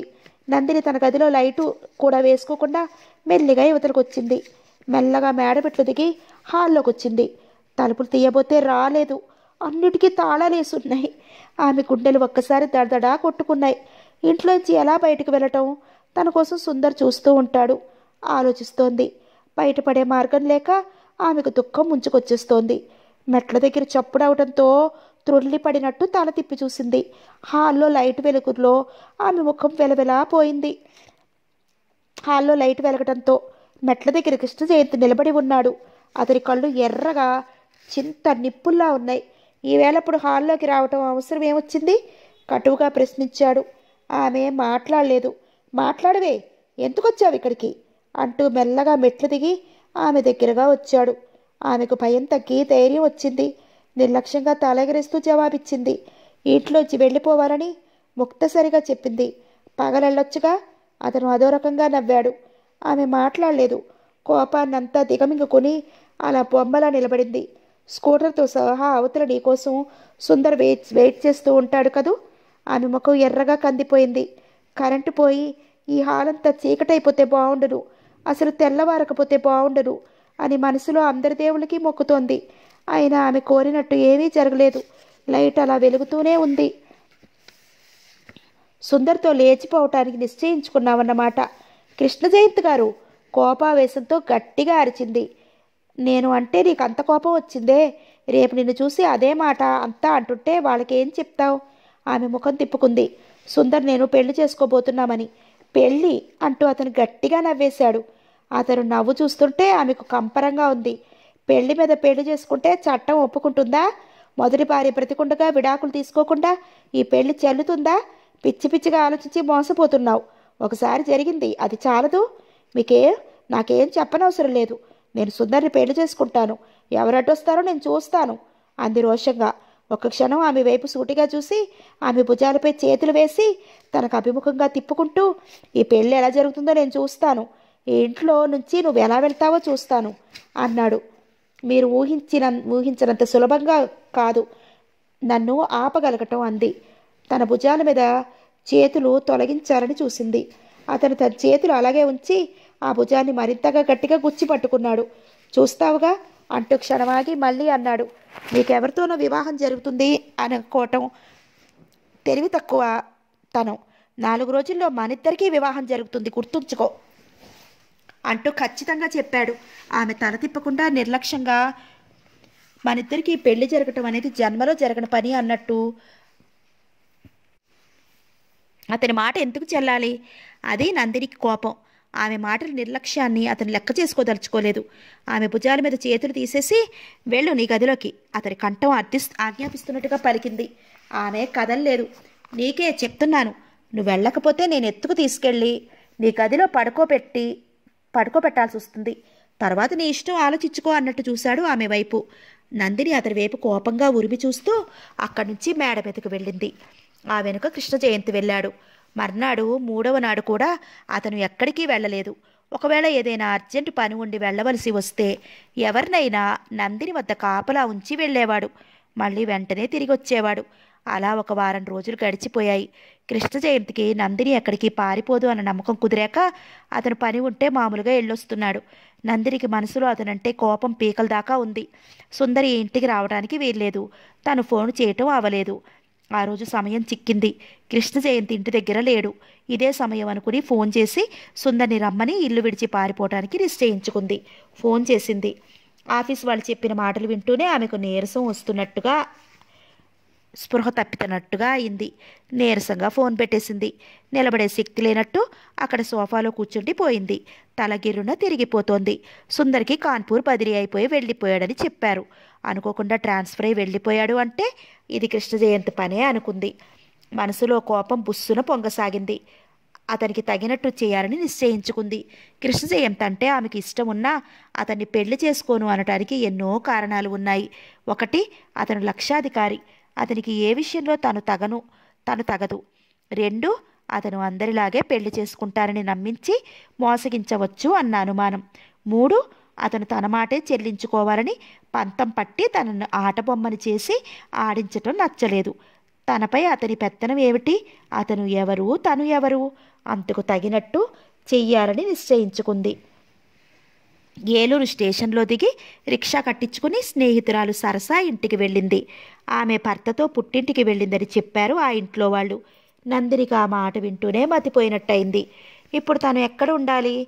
ఆమెకు దుఃఖం ఉంచుకొచ్చింది ఈ రాత్రికి ఎవరింట్లో తలదాచుకోవటం? మనసులో భయం రెపరెపలాడింది. గుండెలు దడదడలాడాయి. తొందరపడి ఇల్లు విడిచి వచ్చేయవలసింది కాదు. పొరపాటు చేశానేమోనని మనసులోనే విచారించింది. పక్కింట్లో క్రిస్టియన్స్ ఉన్నారు. వాళ్ళిద్దరూ అక్క చెల్లెళ్ళు. ఆ ఇంట్లో ఇంకెవరూ లేరు. వాళ్ళిద్దరూ ఉద్యోగాలు చేస్తున్నారు. తల్లి తండ్రి అన్నదమ్ములు ఎవరూ లేరు. పెద్దమ్మాయి మేరీ నం నందిని ఎంతో స్నేహంగా పలకరించి ఆమె గురించి వివరంగా అడిగి తెలుసుకుంది. నందినికి ఆ ఊళ్ళో తెలిసిన వాళ్ళు ఎవరు లేరని తెలిసి తమ ఇంట్లో ఉండమని చెప్పింది. మేరీ వైపు కృతజ్ఞతగా చూసింది. నందినికి తను ఏదైనా ఉద్యోగం చూస్తానని ధైర్యం చెప్పింది. చిన్నమ్మాయి కూడా మంచిదానిలా కనిపించింది. ఆ అమ్మాయిలిద్దరూ చాలా స్నేహంగా కలుపుగోరుతనంగా ఉంటున్నారు. నందినికి సంతోషంగానే ఉంది. వాళ్ళిద్దరూ ఆఫీస్కి వెళ్ళి సాయంత్రం వస్తారు. తన ఊరికే కూర్చోవటం ఏమిటి అని వంట చేసి సిద్ధంగా ఉంచుతుంది. వాళ్ళకి సెలవు రోజుల్లో ముగ్గురు కలిసి సినిమాలకో షికారుకో ఎక్కడికో ఒక చోటికి వెళ్ళేవారు. నందినికి రోజులు సరదాగానే గడిచిపోతున్నాయి. ఆమె ఉద్యోగం గురించి తెలిసిన వాళ్ళందరికీ దగ్గరికి తీసుకెళ్తున్నారు. నందినికి ఒక నెల రోజుల్లో ఉద్యోగం వచ్చేటట్టు ఉంది. ఇరవై రోజులు గడిచాయి. అయితే ఆమె అనుకున్నంత మంచితనం ఆ అక్క చెల్లెలలో లేదు. నందిని బాగా చూస్తున్నా వాళ్ళకి చాలామంది అబ్బాయిలతో పరిచయం ఉంది. వాళ్ళ కోసం ఎవరో ఒకళ్ళు వచ్చేవారు. ఒక్కో రోజైతే పది మంది దాకా వచ్చి రాత్రి పన్నెండు దాకా కదిలేవారు కాదు. నందిని వాళ్ళ మధ్య నిలవలేక దూరంగా ఉండలేక అవస్థపడసాగింది. వచ్చిన వాళ్ళందరి కళ్ళు నందిని మీదే ఉండేవి. రాను రాను ఆ ఇల్లు ఒక నరకం అయిపోయింది ఆమెకు. ఉద్యోగం మాట దేవుడెరుగు. ఇంట్లోంచి బయటపడటం ఎలాగా అని ఆలోచిస్తోంది. ఆదివారం వచ్చింది అంటే నందినికి ముళ్ళ మీద ఉన్నట్టు ఉంటుంది. రాత్రి తెల్లవార్లు త్రాగి పాటలు పాడి పెద్ద గొడవగా ఉంటుంది. నందిని కాలి బలం కొద్దీ పరిగెత్తింది. ఆమెకు గుండెల్లో తడ వణుకు ఆయాసం రాసాగాయి. అయినా లెక్క చేయక అలా పరుగు పెట్టి ఇక పరుగు పెట్టలేక ఎటు వెళ్ళాలో తెలియక ఒక గేట్లోకి ప్రవేశించి ఆ ఇంటి తలుపులు కొట్టింది. మేరీ వాళ్ళ ఇంటి దగ్గర అక్క చెల్లెళ్ళు మిగతా ఇద్దరు అమ్మాయిలు మిగతా అబ్బాయిలతో ఉండగా ఒక అతను బాగా త్రాగి నందిని అల్లరి పెట్టసాగాడు. అక్కడి నుంచి తప్పించుకునే మార్గం లేక గడగడలాడుతూ వీధి తలుపులు తెరుచుకుని బయటపడింది. ఆమెను వదలక అతను వెంటపడ్డాడు. టైము ఒంటి గంట దాటింది. రోడ్డంతా నిర్మానుష్యంగా ఉంది. అతను కూడా వెంటపడినప్పటికీ త్రాగి ఉండటం వలన నందిని అంత స్పీడ్గా పరిగెత్తలేకపోయాడు. త్రాగిన మత్తులో ఆమె ఎటు వెళ్ళింది కూడా సరిగ్గా గమనించలేకపోయాడు. నందిని ఆ ఇంటి తలుపులు టక్ టకటకమని కొడుతూ అతను వెంబడిస్తున్నాడేమో అన్న భయంతో తిరిగి చూడసాగింది. ఒక ఐదు నిమిషాల తర్వాత లోపల లైట్ వెలిగి తలుపు సందుకుండా వెలుతురు కనిపించింది. తలుపులు తెరుచుకున్నాయి. నందిని ఆయన వైపు చూస్తూ ఆ లక్షణం సేపు ఉండిపోయింది. ఆయన చూస్తూనే ఎవరైనా గ్రహిస్తారు. క్రైస్తవ మతాధికారి అని. అరవై ఐదు సంవత్సరాల వయసు ఉంటుంది. తల నెరిసిపోయింది. గెడ్డం ఉంది. కళ్ళద్దాలు మెడలో సిలువ స్టీల్ గొలుసు వైట్ లాంగ్ కోట్ మోకాళ్ళ కింద వరకు వేసుకున్నాడు. Nightie pyjama night pyjama. ఎవరమ్మా నువ్వు? అంటూ ఆయన మృదువుగా శాంతంగా ప్రశ్నించారు. నా పేరు నందిని. మాది ఈ ఊరు కాదు. మీకు అభ్యంతరం లేకపోతే నేను ఈ రాత్రికి ఇక్కడ ఉంటాను అంది దీనంగా ప్రతిమాలినట్టుగా. ఆమె ముఖం చూస్తూనే ఆయన గ్రహించారు. ఈ అమ్మాయి ఎవరో ఆపదలో చిక్కుకుని ఇంట్లో నుంచి పారిపోయి వచ్చింది అని. ఆయన తనలో తాను ఏదో ఆలోచించుకున్నట్లు తల పంకిచ్చి పక్కకు తప్పుకుని ఆమెను లోపలికి రమ్మన్నట్లు దారి ఇచ్చారు. నందిని లోపలికి రాగానే తలుపులు మూసి గదిలోకి తీసుకువెళ్ళి నెమ్మదిగా అడిగారు. ఏం జరిగింది? నాతో చెప్పు అంటూ. నందిని ఈ ఊరు వచ్చిన తర్వాత జరిగినదంతా చెప్పింది. ఆయన అంతా విని గాఢంగా రిట్టొచ్చారు ఆడపిల్ల ఇంటి నుండి వస్తే రక్షణ లేదు తల్లి. అలా ఇంటి నుండి పారిపోయి రావటం మంచిది కాదు అంటూ చెప్పారు. నీకు ఇక్కడ ఏ భయమూ ఉండదు. నువ్వు ఉన్నన్ని రోజులు నిశ్చింతగా ఉండు. ఆ ప్రభువు నీకు తప్పక మేలు చేస్తాడు అంటూ దీవించాడు. రోజులు గడుస్తున్నాయి. ఒక వారం రోజులు గడిచాయి. ఆయన ఒక పని మీద ఊరు వెళ్ళటానికి నిశ్చయించుకున్నాడు. ఆయన వైజాగ్ వెళుతున్నారని తెలిసి నందిని గుండె గభేలుమంది. కృష్ణ జయంతి గుర్తుకు వచ్చి ఆమెకు దుఃఖం ముంచుకు వచ్చింది. అతను చెప్పినట్టు వింటే తనకి ఏ కష్టం ఉండేది కాదు. అతను చెప్పినట్టు వినక పంతాలకు పోయి జీవితం నాశనం చేసుకుంది. ఇక తన ముఖం ఈ జన్మలో అతనికి చూపించలేదు. నందినికి ఏడుపు వచ్చేస్తోంది. కృష్ణ ఇంత మాట విని అతన్ని పెళ్ళి చేసుకుని ఉంటే తన జీవితం హాయిగా సంతోషంగా గడిచిపోయేది. తన జీవితం తెగిన గాలిపటంలా అయింది. మోకాళ్ళ చుట్టూ చేతులు వేసి తల ఆంచుకుని తనలో తను శబ్దం బయటికి రాకుండా ఏడవసాగింది. అలా ఎంతసేపు గుండెలు అలసిపోయేలా ఏడ్చింది? ఆమెకే తెలియదు. తల మీద ఎవరిదో చెయ్యి పడటంతో తల ఎత్తి చూసింది. ఆయన చిరునవ్వుతో ఆప్యాయంగా చూశారు. ఏమిటి తల్లి? ఎందుకీ కన్నీళ్ళు? నీకు వచ్చిన కష్టం ఏమిటో చెప్పు. అంటూ మెల్లగా ప్రతిమాలి అసలు విషయం రాబట్టారు. ఇక ఆయన దగ్గర తన కథ దాచలేక గుండెల్లో బరువు దించుకోవటం కోసం ఆయనతో అంతా చెప్పేసింది. ఆయన ఆమె మాటలు వింటూ కూర్చున్నారు. అంతా విని గాఢంగా రెట్టొచ్చారు ఇప్పుడు చెప్పండి భగవంతుడు నాకు న్యాయం అన్యాయం చేశాడా లేదా? అంటూ వెక్కి వెక్కి ఏడ్చింది. ఆయన చిరునవ్వు నవ్వి ఆమె తలపై చెయ్యి వేసి ప్రేమగా నిమిరి బై బైబిల్ తెచ్చి వాటిలో కొన్ని వాక్యాలు చదివి వినిపించారు. ఆ తర్వాత ఆమెకు మెల్లగా నచ్చ చెప్పారు. చూడమ్మా ప్రభు నీకు మేలు చేయాలన్న ఉద్దేశంతోనే ఇలా చేశాడు. ఆమె తల ఎత్తి ఆయన వైపు అర్థం కాని దానిలా చూసింది. నీకు ప్రభువు మేలు చేయాలన్న ఉద్దేశంతో నిన్ను ఇంట్లో నుంచి బయటికి రప్పించాడు. ఎలా అంటావా? సుందర్ నిన్ను పెళ్ళి చేసుకుంటాడు అన్న భ్రమలో పడి నువ్వు ఆ ఇంట్లో నుండి బయటపడ్డావు. అతనితో పెళ్ళి తప్పిపోవటమంతా ప్రభువు మహిమ. నీకు కృష్ణ జయంతితో పరిచయం కలిగించాడు. మీ ఇద్దరిని దగ్గర చేయాలని ఆ ప్రభువు ఉద్దేశం. నువ్వు మూర్ఖురాలిలా అతని నుంచి దూరంగా పారిపోయి వచ్చావు. అందం చదువు గుణం డబ్బు ఏ విషయంలో అయినా కృష్ణ జయంతితో ఎవరూ సరితూగలేరు. అంత అదృష్టం నీకు కలగజేయాలని ప్రభువు ఎంతగానో ప్రయత్నిస్తే నువ్వు ఆ అదృష్టాన్ని కాళ్ళదన్నుకుని వచ్చావు. నువ్వు దూరమైనందుకు గాను అక్కడ కృష్ణ జయంతి ఎంత బాధపడుతున్నాడో కాస్తైనా ఆలోచించావా? ఆయన శాంతంగా మెల్లగా చెప్పారు. నందిని ఆ మాటలు అన్నీ శ్రద్ధగా వినసాగింది. నిజమా? అతను తన కోసం బాధపడుతూ ఉంటాడా? కళ్ళ నీళ్ళు గిర్రును తిరిగాయి. కష్టాలు ఎదురయ్యాయి అని కలకాలం మనల్ని అంటిపెట్టుకుని ఉండవు కష్టాలు. వెనుక సుఖం సంతోషం శాంతి ఉంటుంది. కష్టాలలో కృంగిపోకూడదు. సంతోషంలో పొంగిపోకూడదు. ఏది ఏమైనా ప్రభువు నీకు మేలు చేయాలన్న ఉద్దేశంతో కృష్ణ జయంతి పరిచయం నీకు కలిగించాడు. నువ్వు ప్రభువు మాటను ధిక్కరించి ఇల్లు విడిచి వచ్చేశావు. కృష్ణ జయంతికి నువ్వు అంటే ఇష్టంతో నీకు ఆశ్రయం ఇచ్చాడు. నువ్వు అతన్ని పెళ్ళి చేసుకుంటారని నమ్మాడు. అతన్ని మోసం చేసి చెప్పకుండా వచ్చేశావు. అది చాలా తప్పు అంటూ ఆమెకు చాలా విషయాలు బోధించాడు. నేను రేపు వైజాగ్ వెళుతున్నాను. నువ్వు నా కూడా రా. కృష్ణ జయంతికి నేనంతా చెప్పి ఆ ఇంటి దగ్గర వదిలి వస్తాను. నందిని మతిపోయినట్టుగా చూసింది. ఆ ఇంటికా? తిరిగి వెళ్ళటమా? అన్నట్టు భయంగా ఉన్నాయి ఆ చూపులు. ఆయన ఆమె భయం తను గ్రహించినట్టు చిరునవ్వు నవ్వాడు. నీ మాటలు బట్టి ఆ అబ్బాయి ఎంత మంచివాడో నేను గ్రహించాను. నువ్వు వెళితే సంతోషిస్తాడే గాని కోపగించుకోడు. అలా అయితే తిరిగి నా కూడా వచ్చేద్దు గాని అంటూ ఆయన ధైర్యం చెప్పిన మీదట సరేననక తప్పలేదు. అయిష్టంగా తల ఊపింది. కృష్ణ జయంతి ఇంటికి వెళ్ళాలి అనుకుంటే కళ్ళల్లో వణుకు కాళ్ళల్లో వణుకు గుండెల్లో దడా వస్తోంది. అతను తనని చూసి ఏమంటాడో అన్న భయంతో ఆమె ప్రాణం గిజగిజలాడుతోంది. కృష్ణ జయంత్ ఒక నెల రోజులైనా ఎక్కడికి సరిగ్గా వెళ్ళటం లేదు. ఎంత అర్జెంటు పని అయినా నిర్లక్ష్యం చేస్తున్నాడు. సుందర్ని నందిని పెళ్ళి చేసుకుంటుంది అన్న భయంతో అతనికి కాన్పూర్ ట్రాన్స్ఫర్ చేయించేశాడు. సుందర్ కాన్పూర్ వెళ్ళిపోయాడు. ఇక ఆమె ఎక్కడికి వెడుతుంది అన్న ధీమాతో ఆ రోజు పని ఉండి ఎక్కడికో వెళ్ళాడు. సాయంత్రం వచ్చేటప్పటికే ఆమె ఇంట్లో లేదు. నౌకరును నౌకర్లను వాళ్ళను అడిగితే ఎవ్వరూ ఏమీ చెప్పలేకపోయారు. ఎక్కడికైనా వెళ్ళింది ఏమో అని రాత్రి తొమ్మిది గంటల దాకా చూసి ఇంకా ఇంటికి రాకపోవటంతో గాబరాపడి కారు వేసుకుని తెలిసిన చోటికి అంతా వెళ్ళి ఆమెను వచ్చిందేమో అని చూశారు. ఎంత వెతికినా ఆమె కనిపించలేదు. అలా వారం రోజులు వరుసగా వెతికాడు. ఆమె జాడలేదు ఇంట్లో నుంచి వెళ్ళిపోయింది. ఇక ఆమె కనిపించదని నిశ్చయించుకుని బాధపడసాగాడు. నందిని ఎందుకలా ఇల్లు వదిలి వెళ్ళిపోయింది? తనను ఎందుకు అర్థం చేసుకోలేదు? ఆమె పట్ల తను ఏం తప్పుగా ప్రవర్తించాడని? నందిని తన మనసులో ప్రేమని గుర్తించకుండా వెళ్ళిపోయింది. ఈ అమ్మాయిలు ఎంతో తెలివైన వాళ్ళమని అనుకుంటారు. నిజంగా ఆలోచిస్తే వాళ్ళంత మూర్ఖురాళ్ళు మరొకరు ఉండరేమో. ఆలోచిస్తున్న అతనికి గుండెల్లో బాధ సుడులు తిరగసాగింది. ఆ రోజు ఉదయం పది గంటలకు ఫోన్ రింగ్ అయితే వెళ్ళి రిసీవర్ అందుకుంటూ హలో కృష్ణజయంత్ స్పీకింగ్ అన్నాడు. అవతల ఆయన మాటలు శ్రద్ధగా ఆలకిస్తున్న అతను కళా నిజమా అన్నట్లు క్షణం సేపలా ఉండిపోయాడు. ఊరు నుంచి రాత్రి వచ్చాం. నందిని నాకు అన్ని విషయాలు చెప్పింది. తిరిగి మీకు ఆమెను అప్పగించాలని తీసుకువచ్చాను.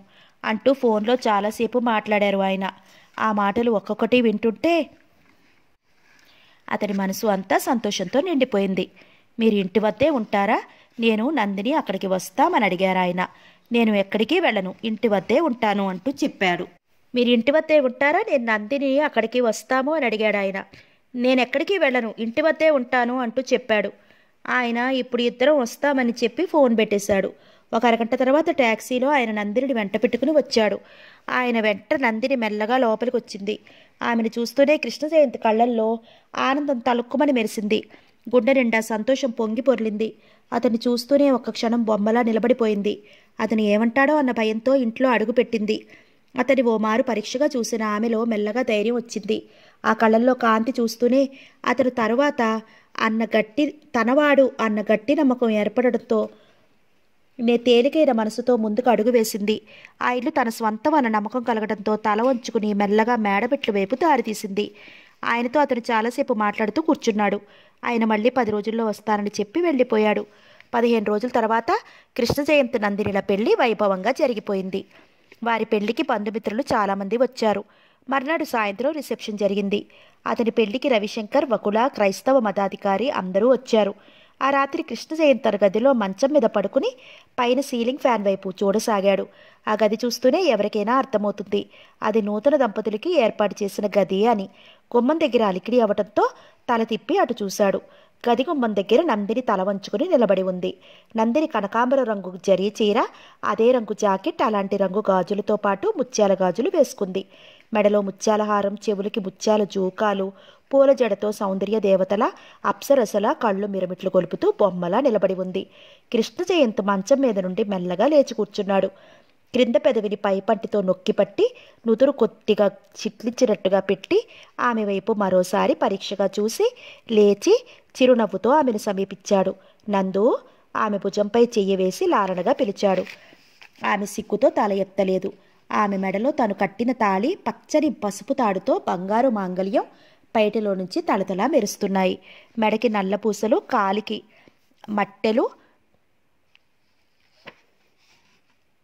నందిని కొత్ నవవధువు ఇల్లాలు అని నొక్కి చెప్తున్నట్లుగా అనిపించాయి. ఆమెను తన వైపు తిప్పుకుంటూ ఒక చెయ్యి ఆమె చుట్టూ వేసి మరో చెయ్యి భుజాల చుట్టూ వేసి దగ్గరగా లాక్కుని హృదయానికి హత్తుకున్నాడు. నందు అంటూ ఆమె తల మీద తన గడ్డం ఆంచాడు. అష్టైశ్వర్యాలు తాండవిస్తున్న ఈ ఇంట్లో ఈ రోజు నుండి శాంతి సురువులు కురవాలి అంటూ తల కొద్దిగా ఉంచాడు కృష్ణ జయంతి పెదవులు ఆమె నుదురుని చెంపని మెడని ఎక్కడ పడితే అక్కడ ఆవేశంగా చుంబించి నదిని మె- నందిని మెడవంపులో అతని ముఖాన్ని దాచుకున్నాయి అతని బలిష్టమైన కౌగిలిలో ఒదిగిపోతూ మైమరిచిపోయింది నందిని. సమాప్తం.